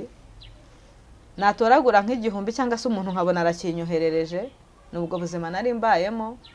Inzu ukwezi kwashira muri iyo shamburete nabagamo nayishyuraga makumyabiri na bitanu ku gitega nkagurisha imyenda yanjye yo kwambara. Urabona bano bantu baje bagura imyenda yambawe. Mm. nkayibagurisha nkishyura inzu. Mbaho muri ubwo buzima nkajya njya gusenga. Najya nko gusenga nkaca nk'ahantu ubwo naba nabonye nk'icyo gihumbi hari ahantu batandikaga ibijumba hariya za kimisagara aho hejuru. Nkagura ibijumba bitanditse nkagura n'amakara nkabyikorera nkabizana. Aho nacaga aho ngaho nahacaga mfite nzaruhaye ririmo umufungo w'ibijumba n'amakara bwari ubuzima bugoye bukakaye. Mbese ntabwo bwari bunyoroheye ariko se aha Mm. abantu badukurikiye baribaza uragarutse mu rwanda uvuye i bugande Mm. hari umugabo wasize kimisagara n'abana Mm. kandi nanone uvuye epfo muhanga uje gutura hano ku gitega Mm. wa mugabo se b'abana se nta kujya kubareba makuru yabo amakuru mu buzima bwose nabayeho nabayeho mu buzima iyo nabonaga igihumbi cyangwa nkabona bibiri kuko abana aho bari bari nabaga mpazi nakoze ibishoboka byose nkajya njya kubareba. Nakoze ibishoboka byose no muri ubwo buzima nari ndimo iyo nageraga gutya najyaga kubareba nkajya no kubareba ku ishuri kuko hari igihe cyageze biba ngombwa ko ari njyewe ubitaho kuva muri abo bana banjye mpamya neza yuko nta mugabo uzi ukuntu umwana yambara. Ibyo byose ni njyewe mbikora. None se umugabo nyine umugabo se? Umugabo nyine ubwo icyo gihe twaratandukanye Ugiye umusize mu nzu warigendeye? ngiye musize mu nzu ndagenda. Ugarutse ntiwajya ariko kumureba. ngarutse musaba ko twasubirana ambwira ko bitashoboka. Eh, birumvikana ariko. Eh, ambwiye rero ko bitashoboka ubwo iyi nyine yahise arongora undi. Okay it's okay ubwo ariko uko biri kose abana banjye ntabwo babana nawe abana baba kwa sekuru ubyara se. Wagize umugisha wo kujya ushaka no mu miryango yita ku bana bawe ariko. Yego. Mm. nagiriwe umugisha ariko nanjye ayo mahirwe yo kuba nabana n'abana nkabarera nanjye nari nyakeneye. Mm, ariko nanone nta buzima mfite bwo kubabeshamo. Birumvikana. Byari bigoye. Buriya umubyeyi wese arabyara. Hari n'abantu bagiye bavuga ngo nataye abana bavuga byinshi ariko buri mubyeyi wese akunda abana.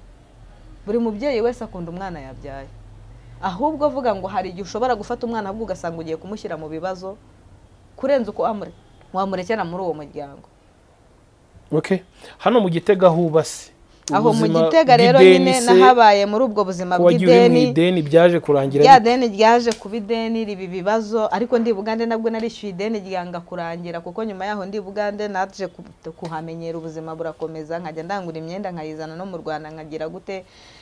Nkajya mbaha ibihumbi mirongo itanu ariko nabwo ideni ryanga gushiramo urumva ideni ryari rimaze imyaka igera muri ine urumva ryari ryarazamutse cyane. Mm, biba ibibazo ariko imana ikajya imbwira ngo izanyishyurira ideni.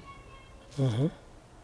uko nasengaga gutyo nari mfite icyo kibazo kuko hari n'aho byageze musaza wanjye baramutera baramubwira ati nutishyurira ideni tudateza cyamunara.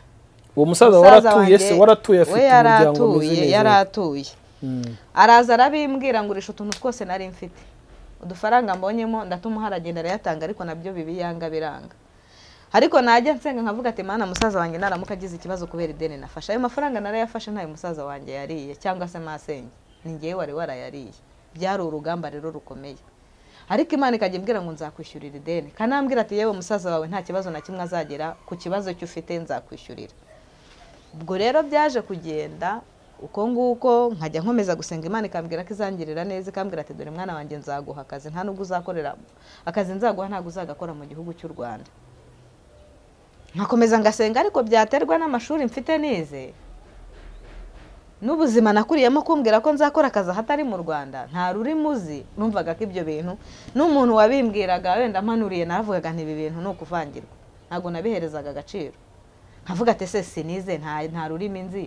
Hanze nzajya kuhakora gute mm. nkumva ni ibintu bidashoboka ariko ndakomeza ndasenga hahandi n'igihe najyaga gus- najyaga gusenga nzi ko ndi butahe nkaburara kandi nzaremereye nabi nari narananutse ubu imana yangiriye neza urabona ko akabiri kongeye kakagaruka igihe najyaga gusenga nkaza nta kintu cyo kurya mfite byancanze cyangwa se nari mfite mama wacu akaba yanyoherereza nk'ibyo kurya bikuye mu cyaro nkabaho muri ubwo buzima ariko ndakomeza mbaho Mm. ubwo rero igihe cyaje kugera mba muri iyo nzu mbona ari ibibazo mbona noneho no kwishyura bigiye kunanira. Mbona ari urugamba ariko imana ikambwira ati nzakugirira neza. Rero igihe cyaje kugera ngiye gusenga mpahurira n'umuntu uri gusengera urugendo rujya muri omani Mm. arambwira ati ndamubaza ese aho hantu muri omani urumva njye nakurikije bya bindi imana yambwiye. Mm. kandi mbajije bambwira ko n'umuntu utarize ajyayo. Mhm. ndamubwira ese uri gusengera ati ngenda ashaka kujyayo ati hari abantu twakoranaga bagiyeyo. Ndamubwira none se nanjye nabigenza gute? Arambwira ati wowe shaka ibyangombwa niba bikunda nzaguhuza n'abo bagiye kunjyana nawe bakujyane. Utarageraho Mm. abana bawe bose uko ari batanu. Abana banjye bose. Reka duhere ku mukuru. Yego icyo gihe nta gusura ku gitega abayeho ate icyo gihe uri mu gitega ubuzima bw'umwana wa wawe mwana wanjye mukuru wa undi mukuru. Yari ari kwa shangazi. Kacyiru. Yego. Mm, mbasha no kwishyura ndamwishyurira ishuri yiga pirimeri arayirangiza mm, ajya muri segonderi mm, ariko ageze mu wa kane ku cya gihe nari ndimo mu byo gu- gusenga Mm. mbura ubushobozi bwo kongera kumwishyurira. Mhm, byabaye ngombwa rero ko wa mwana ava mu ishuri. Ariko akaba ari wa mwana wakundaga niyo yabaga atagiye ku ishuri wakundaga kujya ahantu hari ibyuma bino bino byo kubaninga. Mm, byo kugira amafilime indirimbo. Mm, hari n'umuntu wari waramwizeye amuha akazi. Rero ka kazi yaje kugakora akajya ava ku ishuri akaza agakorera uwo muntu akabona nk'icyo gihumbi gutyo gutyo nyuma rero azakumbwira ati muri icyo gihe ngewe naniwe kumwishyurira ishuri. Kuko ndi bugande ndabyibuka ko yigeze kumpamagara akambwira ati arashaka kwigurira ibyuma bye. Akajya baninga ariko ibyuma ari ibye. Ansaba ubufasha nawe yari afite amafaranga ye yagiye akorera. Naraje rero kumwongereraho makeya agura bya byuma. Abitereka mu rugo urumva nubwo nabaga i bugande kuko igihe cyaje kugera wa mwana ava kwa masenge kuko nakodeshaga inzu hano mu rwanda icyo gihe najyaga mva i bugande n'aba nzanye imyenda mu rwanda nkaba mfite ahantu ho kujya kurara. Rero wa mwana akahaba abana n'umukobwa twabanaga bakabana aho ngaho mu rugo. Ariko mpakodesha nkanabagurira ibyo kurya nyine ngahaha wa mwana ari haba noneho na ba bandi bandi bato iyo babaga ari mu kiruhuko batari ku ishuri barazaga mu rugo tukaba turi kumwe. Nanjye nkagereranya igihe cy'ibiruhuko nkaza nkaba ndi kumwe nabo. Niko twabaga tumeze. Ubwo rero uwo mutarabona n'umukurikira. Umukurikira ni we nabuze ni we ntazi n'iherezo rye. Ubu yagiye muri kongo papa we nawe papa ntamuvugana we nawe ntituvugana nta n'amaherezo. Ntujya ujya no kuri social media ngo ushake amazina yabo singiye kukubeshya rwose pe. Ariko babonye iki kiganiro basi bamenya kuriho kuba bazi ko ndiho barabizi ko ndiho Eh, okay. wenda ngewe kubera ko nzi ko muri kongo habaye intambara ntabwo nzi ngo ese bimeze gute. Ariko mu gihe hari igihe nigeze umuntu yigeze kunganiriza ambwira yuko papa we yigeze kuza igisenyi. Hmm. ngo barabonana ambwira yuko nyine bagiye ngo nimba ari ahantu bita ngo nimba ari hehe. Iyo mu cyaro uciye mu igoma ugakomeza iyo mu cyaro hirya. Eh, ubu rero wenda kubera intambara nta makuru yabo mfite. Okay twigere aho muri none utangiye kubona ibya omari yego ubwo birangije rero icyo gihe muri oman byabaye ngombwa kuko nari mfite mfite gurupe y'abapapa batanu dusengana. Hmm. harimo na murama wanjye umugabo wa murumuna wanjye ni we wayinjyanyemo. Okay ni byiza. Turasengana imana ikajya imbwira ko izangirira neza ikajya inambwira ko impaye akazi kambwira ko nuriye indege ariko nkumva nyine ni ibintu bidashoboka. Muri ibyo bibazo byanjye byose nagiye mpura na byo hari n'igihe naburaga itike njyane muhanga ngo tujye gusenga bakantegera. Hmm. ariko imana ibampera umugisha. Na murama wanjye imana imumpera umugisha cyane hamwe na murumuna wanjye. Hmm. Mhm. ubwo rero byaje kugenda uko nguko turasengana ariko icyo gihe mpura n'uwo mukobwa ku musozi. Hmm. kambwira yuko arimo gushaka kujya muri omani Mhm. hari ku cyumweru Hmm. aho hantu hari ku cyumweru nagiye gusengera kuko icyo gihe nasengeraga aho ngaho mu cyumba nka tugasengera n'umurimo Hmm. ubwo ku wa gatatu barasenze ariko mukuru uko gusenga icyo gihe ndi mu cyaha hafi ngize gutya mbona muramukazi wanjye arampamagaye Mhm. arambwira ngo Lionel ararwaye. Mu by'ukuri yampamagaye nta n'igiceri cy'ijana mfite urumva ni umwana iyo arwaye barambwira iyo hari ikibazo mbese gihari no ku ishuri byose barambwira. Mbese muri makeya ikintu cyose kibaye barambwira. Haba umwana nta nkweto afite haba ntaki barambwira. Arampamagara arambwira ati Lionel ararwaye amaze iminsi ibiri atajya ku ishuri. Babimbwiye nta n'icyatanu mfite. Ndavuga ese ndabigenza gute? Njya gusenga ku wa gatatu ariko mfite agahinda k'umwana urwaye. Ndavuga ati ese mana ngeze noneho ariko najyaga nca nk'ahantu wenda nabo bacuruza nk'inyama kuko urumva muri ubwo buzima nari ndimo se nari kubasha nkumva nkumbuye inyama nkumva mbese kandi urumva nkiba mu rugo rwanjye mu rugo ntabwo haburaga inyama. Hmm. ariko nacaga nk'ahantu bacuruza nk'inyama nkumva nkumbuye inyama nkaba ntabona n'amafaranga yo kugura ino urumva ubwo buzima nari mbayemo n'inzu nayishyuraga ari uko ngurishije imyenda yo kwambara. Mm. n'imyenda nambaraga kubera kwishyura inzu yari imaze gusa nk'aho inshiraho. Nuko. Ubwo rero icyo gihe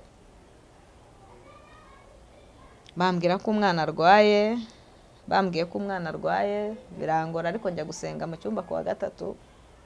Nicaraga ahantu hari hari ingoma. Hmm. ndagenda ndiyicarira barasenga hari ku wa gatatu icyo cyumba kizamo abantu benshi ku wa gatatu. Hmm. umuhanuzi yarahagurutse arangije araza. ara- arambwira ati haguruka ndahaguruka arambwira ati umva mwana wanjye. Tubuze murimo ndabuzi waragerageje wahagaze neza ariko nanjye ndi imana amanutse. Ndaje kugutabara ibyo urambiwe nanjye ndabirambiwe. Ubwo buhanuzi sinzigera mbwibagirwa. Hmm. urumva bambwiye ko umwana arwaye irangije nambwira ati mwana wanjye usigaye wifuza n'inusu y'inyama irangije itegeka abantu bo muri icyo cyumba ngo umugurire umwana wanjye inyama. Mm. Bazanye ikibo abantu bashyiramo amafaranga. Bampaye ibihumbi cumi na birindwi na magana abiri. Cumi na birindwi na magana abiri. Pole bambi pole Mm. naragiye nkiva aho ngaho nahise njya mpamagara wa muramukazi wanjye ndamubwira ntohereza riyoneri duhurire ku ivuriro ryari riri aho ngaho. Aramwohereza amujyana kwa muganga muri ya mafaranga bampa imiti. Ndagenda mugurira n'amata mugurira n'utundi tuntu ku ivuriro nahishyuye ibihumbi umunani urumva na yo isigaranye ibihumbi icyenda ariko imana akaba yambwiye ngo aya mafaranga ni itangiriro ryo kugira ngo ugirire neza Mm. nuko ya mafaranga narayafashe nyine mvuza umwana muguriramo n'utundi tuntu kugira ngo abone uko anywa iyo miti Mm. Urumva n'ubundi abana baba batabayeho babana na mama wabo usibye kubyirengagiza ariko ntabwo babayeho neza. Mm. nubwo wenda nkurikirana byose arwaye bakambwira ku ishuri bakambwira ariko ntabwo abayeho neza. Mm. mbese kwa kundi umubyeyi avuga ati ngiye ku isoko nimbona igihumbi ndagurira umwana irindazi mushyire cyangwa se ndamugurira akantu amugurira ako kaji nkamuhe. Ntabwo urumva ubwo buzima ntabwo umwana aba yabuciyemo. Rero ntabwo biba byoroshye. Nuko. Ubwo naragiye ngura n'inusu y'inyama nk'uko imana yari imbwiye ko ari ayo kugura inyama ariko n'ibindi byose imana yari ibizi. Hari ku wa gatatu ku wa kane ndasenga niriza ubusa mbwira imana ngo mane se kujya muri omani ni bwo rwa rugendo wambwiraga buracya njya gusenga.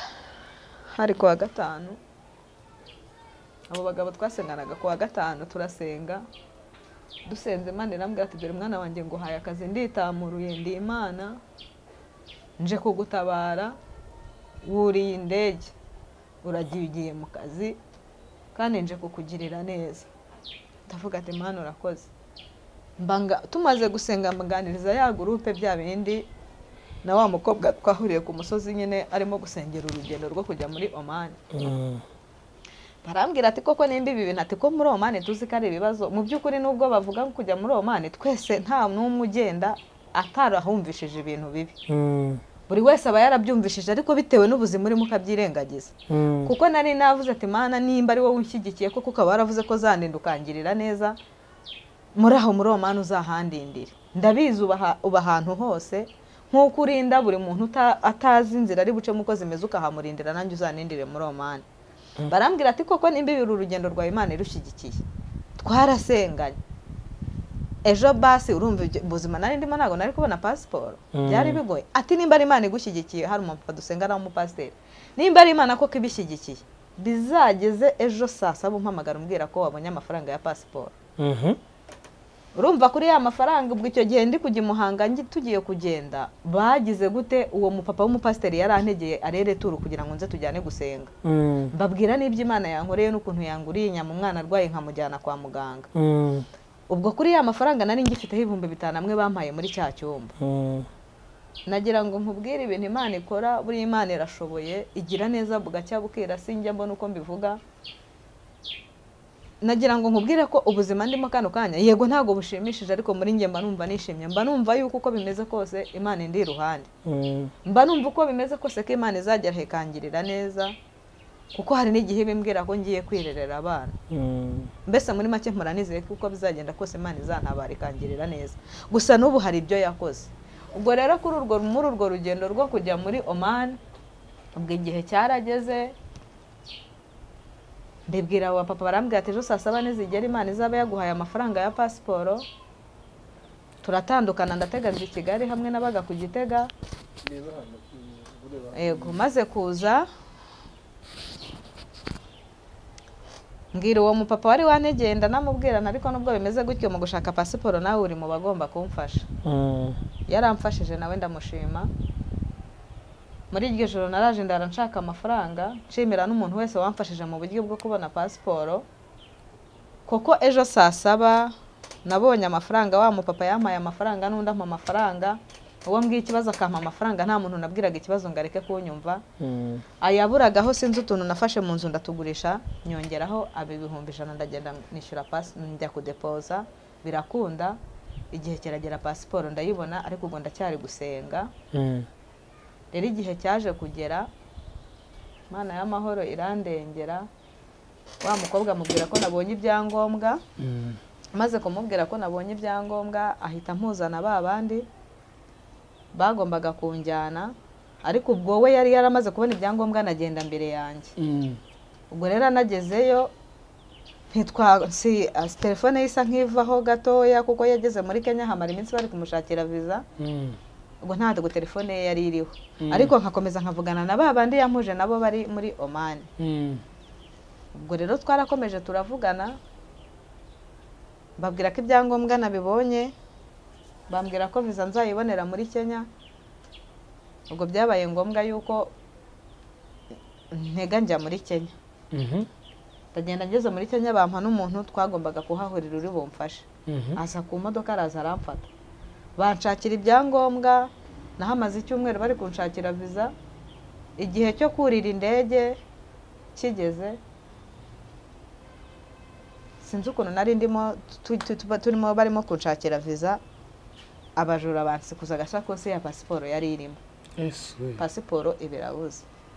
Icyo gihe byambanye urugamba rukomeye ndavuga mana ko wambwiye ko mpaye akazi? Ibi byose ko nabyirukansemo nkagera ubwo ngera muri kenya noneho ndasubira mu rwanda gute ariko imana itabura uko ibigenza yaragiye isanga wa muntu waje kumfata nyine wa waho narindi bari kunshakira ibyangombwa umugore n'umugabo baricara baraterana barongera banshakira amafaranga ansubiza mu rwanda n'ayo kwishyura pasiporo bundi bushya Eh. ubwo byabaye ngombwa rero yuko ngaruka mu rwanda Eh, eh, ndaza ntanga ikirego ariko nari natanze ikirego n'ubundi kuri polisi yo muri kenya bampa ibipapuro ari na byo naje nambukiraho ku mupaka. Ndaza ngera inaha ngaha ndagenda njya kuri migarasiyo mbatekerereza uko byagenze mbabwira ubuzima bwose uko byagenze mbaherekana cya cyangombwa cya polisi yo muri kenya barongera bampa indi pasiporo. Ugarutse mu rwanda ugiye gufata indi pasiporo nanone bundi bushya. Kuri migirasiyo bigenda gute iyo wataye nagiye kuri pasiporo? migarasiyo bambwira icyumba ngomba kujyamo ndagenda barambaza ndabasobanurira. Bantegeka yuko nagenda nkishyura inshyashya nkishyura n'amande. Y'iyo yindi batwaye mirongo itanu. Ngo nishyura ibihumbi ijana na mirongo itanu. Njyayo mbabwira ko nishyuye barambwira ngende ndindire mesaje. Naragiye ndategereza. Sinabona mesaje nsubirayo nsubiyeyo. Barambwira ati noneho genda uzagaruke iki gihe n'iki ati noneho ugiye kubona mesaje. Icyo gihe naragiye haciye iminsi itatu mesaje mba ndayibonye. Biba ngombwa ko nsubira kuri migarasiyo bankorera indi pasiporo nkimara kuyibona naje na- ubwo nkimara kuyibona nahise ngira gute? Nkimara kuyibona ubwo narabahamagaye mbabwira ko nongeye nkabona indi barambwira ati noneho ngwino ndagenda. Banshakira viza bundi bushyashya viza ziraboneka. Ubwo nyine biba ngombwa yuko nurira indege njya muri omani mu by'ukuri nagiye muri omani nagiye muri omani Mhm. nta rurimi narinzi bakingeza ku kibuga cy'indege muri kenya byabanje kunshanga birangora Mhm. ariko imana ibana nanjye kuko nari narayibwiye ngo ibyo ngiyemo njye simbishoboye ariko nunjya imbere bizakunda Mhm. imana igendana nanjye impa ubwenge icyongereza cyanjye cyari gikeya n'igiswahili na cyo nari nkizimo gakeya ubwo birangije rero ndagenda ngeze muri kenya nurira indege. Ndagenda indege yagombaga guca Addis Ababa muri etiyopiya Mhm. tugeze muri etiyopiya indege irahagarara ubwo nari guhindura nkajya mu yindi nari mfite amatike abiri Mhm. ubwo tuhageze ndarindira indege itike nari ndimo na- nagombaga kurira indege nijoro kuko nageze duba na- nageze omani mu gitondo Mhm. saa kumi n'ebyiri ubwo tuba tugeze omani nagiye ku kibuga cy'indege ndategereza haza umuntu ufite ifoto yanjye kuko uba warohereje ifoto yawe. Ashyira mu modoka turagenda. Anjyana kuri ofisi abantu bagiye gukorayo akazi baba bafite ama ofisi Mhm. ndagenda barambwira ati ese urugendo rwagenze gute? Nahasanze n'abandi banyarwanda. Mhm. ntirwagenze neza turaganira. Bampa amazi njya koga n'isabune ndakaraba. Barangaburira barambwira ati rero ryama bosi wawe agiye kuza kugufata uba uri naragiye ndaryama.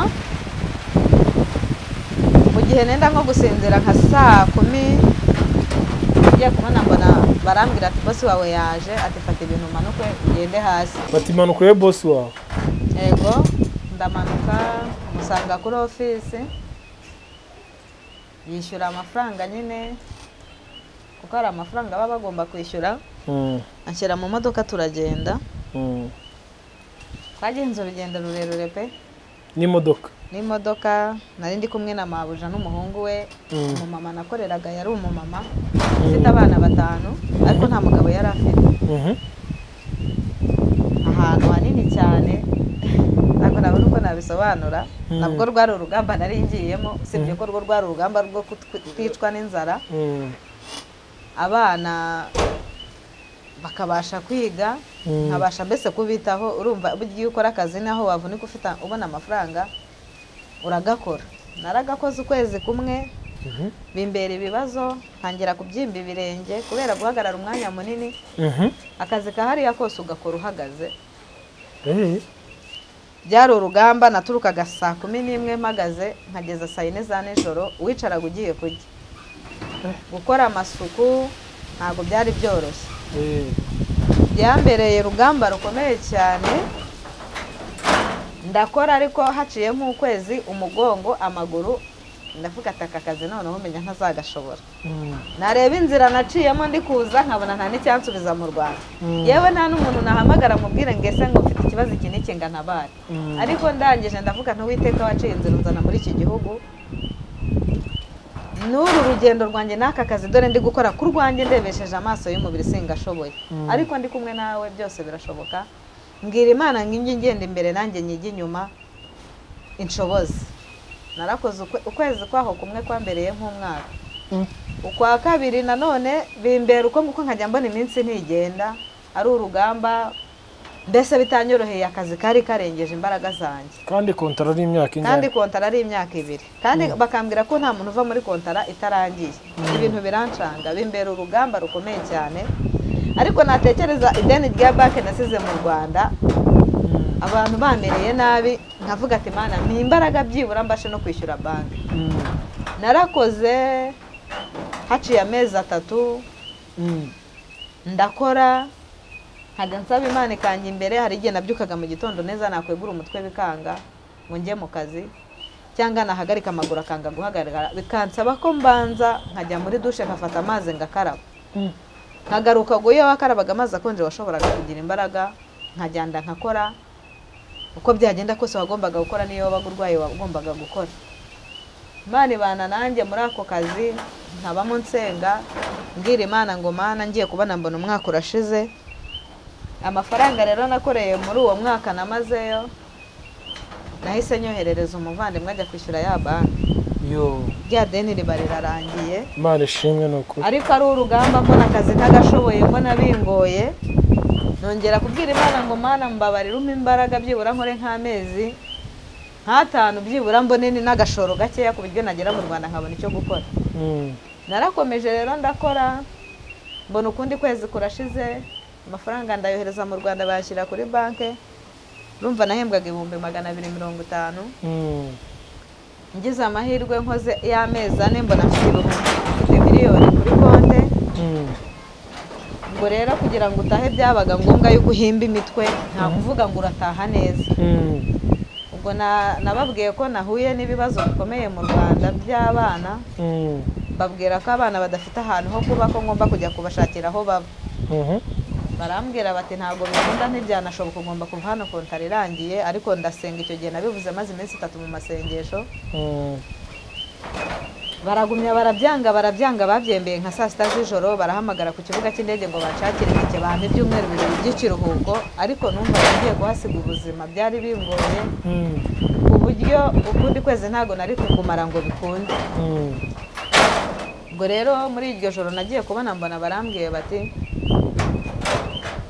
twabonye yo ku itariki zirindwi gihe hari ku itariki enye. Twabonye yo ku itariki zirindwi z'ukwa cyenda Mm. ubwo rero itike iraboneka bambwira ko itike yabonetse ariyo ku itariki zirindwi. Ndakomeza ndasenga. Hari ku itariki zingahe hari ku itariki enye. Mm. ndakomeza ndasenga. Imana impa imbaraga muri iyo minsi yari isigaye. Zigeze barambwira ndagenda mu gitondo. Ku itariki zirindwi nahagurutse mu gitondo. Bangeza ku kibuga cy'indege.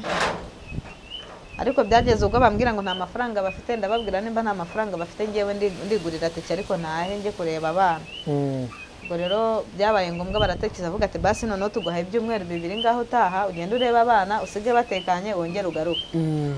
ubwo nyine naraje indege ngeza dubayi ngeze dubayi nahageze nka saa tatu za nijoro. Nagombaga kuza nanone saa kumi n'ebyiri za mu gitondo ndara aho ngaho. Mu gitondo barajya mfata indege. Ese ubwo waraye? Waraye mu kibuga? Eh, haba harimo ahantu ho kuryama hari harimo abantu benshi urabona dubayi ikibuga cyaho haba- ni mu nzu. Mm. haba harimo intebe Mm. zirambuye abaryama bararyama bikara bakicara abareba amateleviziyo bakareba. Nta kibazo na kimwe uba ufite uri mu kibuga. Haba harimo abantu benshi. Ubwo rero narahageze turara aho ngaho mu gitondo turateresha. Mu gitondo indege iri buhaguruke yangereje muri kenya. Nageze muri kenya nka saa sita saa sita ngombwa muri- mfata indege inzana mu rwanda yangejeje n'aha saa saba. Mm. Eh, ndaza ngera inaha ngaha urumva cya kibazo cya banki nari naragikemuye Mm. biba ngombwa shangazi nta kibazo na musaza wanjye nta kibazo baranyakira neza. Ubwo rero musaza wanjye arambwira ati ese mu rwanda ko bikomeye? Ati ese ubu ngubu? Arambwira ati kuko arakora akorera mu mujyi. Mm. ariko ntabwo nawe ibyo akora ari ibintu bi- bi- bikaze ni ibintu biri aho. Arambwira ati waza mu mujyi ukarebamo agaseta ugatangira gukora. Ubwo rero naragiye nyine mfata akametero nawe urumva muri miliyoni wishyuyemo iseta amezi abiri. Mm. ariko mpfa kuyaranguza uko ari. Mm. urumva naje mu kwa cyenda urumva ko maze hafi amezi angahe mu rwanda? Amezi atanu. Mm. Eh, uri gucuruza? Eh, urumva muri uko kuza kwanjye naje mvuga ni wenda nibigenda neza nzafata inzu mbane n'abana. Mm. ariko byaranze. Ubucuruzi muri ino minsi ubona ko ari ikibazo. Umuntu ucuruza ibintu bifatika arakora ariko ucuruza ibintu bikeya nyine nawe urabyumva gutera imbere biba bigoye. Uwakumva hari igihe avuga ati wowe yafata abana bawe muvunikane uko ubaye ariko ubu kano babaho kanya tuvugana mfite kubafata wenda nkafata iyo nzu Mm. ariko nko mu- minsi mikeya ikabirananira Mhm. ubwo yananira ba bana bari mu ishuri nabatesheje wenda hamwe bigaga Mm. kongera kubahindurira ishuri ugasanga nyine ni ikibazo Mhm. ubwo nyine navuze ninkora nkabona ubuzima buri kugenda neza nzafata inzu noneho mfate abana tubane wa wundi mukuru ubwo yavuye mu ishuri ajya muri ibyo ngibyo byo kubaninga yiyishyurira inzu nyine we yibeshaho We- nta kibazo Eh, abatoya nyine nibo mba mbona ubuzima barimo butari bwiza ariko ngerageza uko nshoboye mu- bushobozi bwanjye bukeya mfite nkababa A- hafi abadukurikiye hari hari abato babiri bari kimisagara Mm. iwabo Mm. ariko uwo bakurikira wa gatatu uwo bakurikira wa gatatu rero urumva wa mugabo twabanye igihe gito y'umwe twatandukanye dutandukanyijwe n'ubuyobozi Mm. Ubwo yaje kugira imyaka itatu antera hejuru ambwira ko ashaka umwana we Mm. avuga ko ashaka kundega Mm. biba ngombwa ko umwana mumuha Ah, we rero we nta kibazo na kimwe kuko abana na nyirakuru Mm. abana na nyirakuru ariga ageze muri segonderi mu wa kabiri Ni umuhungu? ni umukobwa ni nawe mukobwa afite abandi bose ni abahungu. Noneho abo bana uba ubona mbese basa nkaho bahangayikishije ni abo babiri. Batoya batoya urumva umwe ari mu wa gatandatu undi ari mu wa kabiri. Ya- Eh, okay Uh, mama Lionel uciye mu buzima bukomeye. Umuntu wese wabyumva yavuga ati uyu mumama aciye ahantu hakomeye kandi koko. Ariko hose warize wa- wabashije kwiga wahuye n'ibihe bikomeye kandi imana yarakwigishije ndetse wavuyemo umuntu ukomeye. Uyu munsi uh, hari abakobwa benshi bakuze cyangwa se bari mu gihe nk'icyo wari urimo bari guca mu bihe nk'ibyo ucamo. N'ahe magambo wababwira? Amagambo nababwira buriya iyo umuntu atangiye icyemezo cy'ubuzima hari ukuba abana b'abakobwa bakiri batoya. Kwinjira mu bintu byo gushaka uri muto ni urugamba ruba rukomeye. Yego hariho n'uba udafite ukundi kuntu yabigenza kumva ko ubuzima bwe buri ku mugabo wenda. Ariko hari igihe ushaka uri mutoya ukagenda ugahura n'ibibazo ugateseka kurenza uko wari kugumeza ukihangana urugendo rwawe ukaruragiza imana. Mu by'ukuri gushaka uri mutoya ni cyo kintu nabonye cya mbere kigoye kandi kibi. Urumva ubwo buzima bwose ngewe naciyemo mm, byatewe n'ubuzima nari ndimo kuko nta muntu n'umwe nari mfite nereka. N'abantu basa buriya n'abantu hari ukuntu basa nk'aho bakugirira urukundo nkanjye natangiriye kugirirwa urukundo maze gukura. Ariko nkiri umwana nta muntu n'umwe wari unyitayeho muri ubwo buzima nari ndi gucamo. Rero bivuga ngo ubuzima waba urimo uko bwaba bumeze kose. Kuri ngewe ku rwanjye ruhande nkurikije ibyo maze kubona mbona urugendo ugiye kujyamo wajya ubanza ukarusenga ukarusengera. Imana akaba ariyo ikwereka inzira yo gucamo. Ya, ibi bintu wabiciyemo utaratangira gusenga utarinjira mu bintu byo gusenga cyane. Ariko ah, aho utangiriye gusenga hari impinduka yabayemo ngira ngo watangiye ibyo gusenga uri bugande uvuye bugande. Eh, mu kanya gato hari ahantu watubwiye uti narebye nsangaho kugira ngo nsenye uwo mwana namutanga agasubira iwabo. Mm, Ah, hari abantu benshi bashobora gutanga komantere bakavuga bati wowe wa mugore we wari umupfapfa. Mm, iyo kugira ngo ureke umwana wawe gushaka ubyihore. Mm. sorry. Ah, hanyuma umuntu akibaza wumvaga umutima ufite nyine ari ugushaka? Ariko uyu munsi wenda tugana ku musozo n'abadukurikiye ah, umuntu yakwibaza ngo esike wakongera gushaka? Urumva kuva ntandukanye n'umugabo haciye imyaka itandatu. Ariko mbese urumva imyaka itandatu utandukanye n'umugabo? Ukaba utarashatse. Numvaga gushaka byaramvuyemo pe. Numvaga ko ikintu kijyanye n'urushaka atari ikintu cyanjye.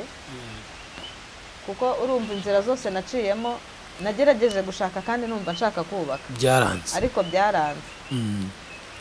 Rero mu by'ukuri gusa aho natangiriye gusenga imana yagiye imbwira ko izongera ikaba mu rugo Mm. ariko ku rwanjye ruhande nari nzi ko nta rugo rundi ruhari Mm. numvaga ko ngomba kubaho gutyo imana yampa ubuzima nkibanira n'abana byibura nkabaha urukundo batigeze babona nta mpamvu y'abagabo Mm. Mm. ariko uyu munsi byaba yego birashoboka. Bitewe n'ubuzima urumva nimba uri umuntu usenga Mm. mbese iyo uri umuntu usenga uko byagenda kose imana igize icyo ikora mu bijyanye n'urushako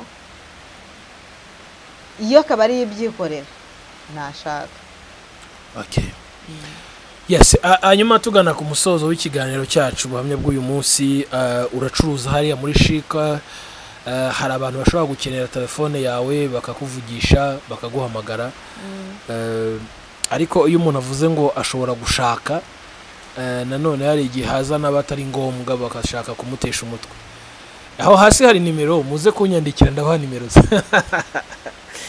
ntange nimero zawe cyangwa uzampamagara ari we nzazira nta kibazo wazibaha ushaka kumvugisha Mm. nta kibazo kuko nta kibazo nanjye ntabasha kugira gutya. Mm.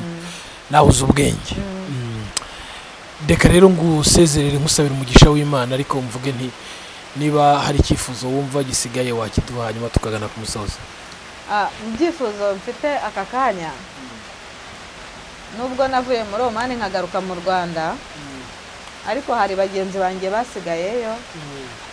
Njya nkunda gukurikirana ibiganiro byabo. Nkumva ibibazo ariko nagira ngo mbagire inama kuba muri kiriya gihugu. Ukahava amahoro ikintu cyakubesha ni ugusenga. Ugasenga ibintu byose imana ukayishyira imbere. Ntiwirwanirire wowe ugasenga imana akaba ariyo ikwiyoborera muri kiriya gihugu. Ugasenga imana ukanayisaba no kukugarurira iwanyu amahoro. Icyo ni cyo nagiraho abantu inama. Ikindi nanone nakongeraho nagiraho abantu inama. Abatarajyaho ntibakagira. Ni ukuri pe. Bishoboye ubishoboye hari ukundi wabigenza ntabwo wajyayo. Kuko ubuzima bwaho buragoye. Mm. ikindi nanone navuga ku bantu bubatse ingo maze guhura na byinshi iyo uvuye mu rugo ukagenda ni bwo ubona ko hari hafite umumaro. Nkagira abantu inama abadamu bubatse gusengera ingo zabo. Imana ikaziyobora. Nubwo njye nashoboye kurusengera urwanjye ngo iriyobore ariko icyo gihe ntabwo nari nyizi. Wenda iyo njya kuyimenya nanjye nari kurusengera rugakomera. Ariko ntabwo byigeze bibaho. Abamama cyangwa se abapapa gusengera ingo ni cyo cyonyine cyakubaka. N'ubwumvikane no gushyira hamwe. Yego. Ya imana iguha umugisha wakoze cyane. Turagushimiye. Kandi ubucuruzi kandi nanone ikindi nakongeraho nongera gushima imana yabanye nanjye ikandinda Mm. ikandindira ubuzima. Nkaba ngejeje aka kanya nkiriho. Imana ishima kandi nkongera gushima imana ko itajya irobanura ku butoni. Ntabwo ijya ireba aho tuvuka cyangwa amashuri twize. Iyo ishatse kukugirira neza ikugirira neza. Nanjye aho yankuye hari habi. Wenda ubu nakabaye narapfuye ariko kubera imana yarandinze ingejeje uyu munsi. Mu by'ukuri imana ndayishimye kuko nari narayibwiye ngo ubuzima naciyemo nabusangiza abandi bantu byibura n'abandi bababaye bagasenga imana ikabarengera ikabagirira neza kuko nabonye ubutabazi nta handi buri buri kuwiteka amen. Ni nabwiye imana yuko umunsi nzabasha kwicara ahantu nk'aha ngaha. Nzayishima. Ni ukuri ko imana kuko urayishimiye pe. yarandengeye yangiriye neza yankuye mu magana menshi y'abanyabyaha. Irongera ingirira icyizere. Ubu kano kanya nubwo mfite ibibazo ariko nizera ko igihe kimwe bizarangira. Njya nicara nkavugana uko byagenze kose imana aho yankuye ni ho hari hakomeye n'ahandi naho izahankura rero ku bw'ibyo ndashima imana ko yanjogoye mu bantu benshi. Kongera ikakira uruhande rwayo ikangira umwana wayo. Imana y'amahoro ishima. Reka tubashimire mwese abari badukurikiye ukeneye nimero eh, za mama ndazimuha biroroshye. Imana ibahe umugisha. Jye nari kuzo emi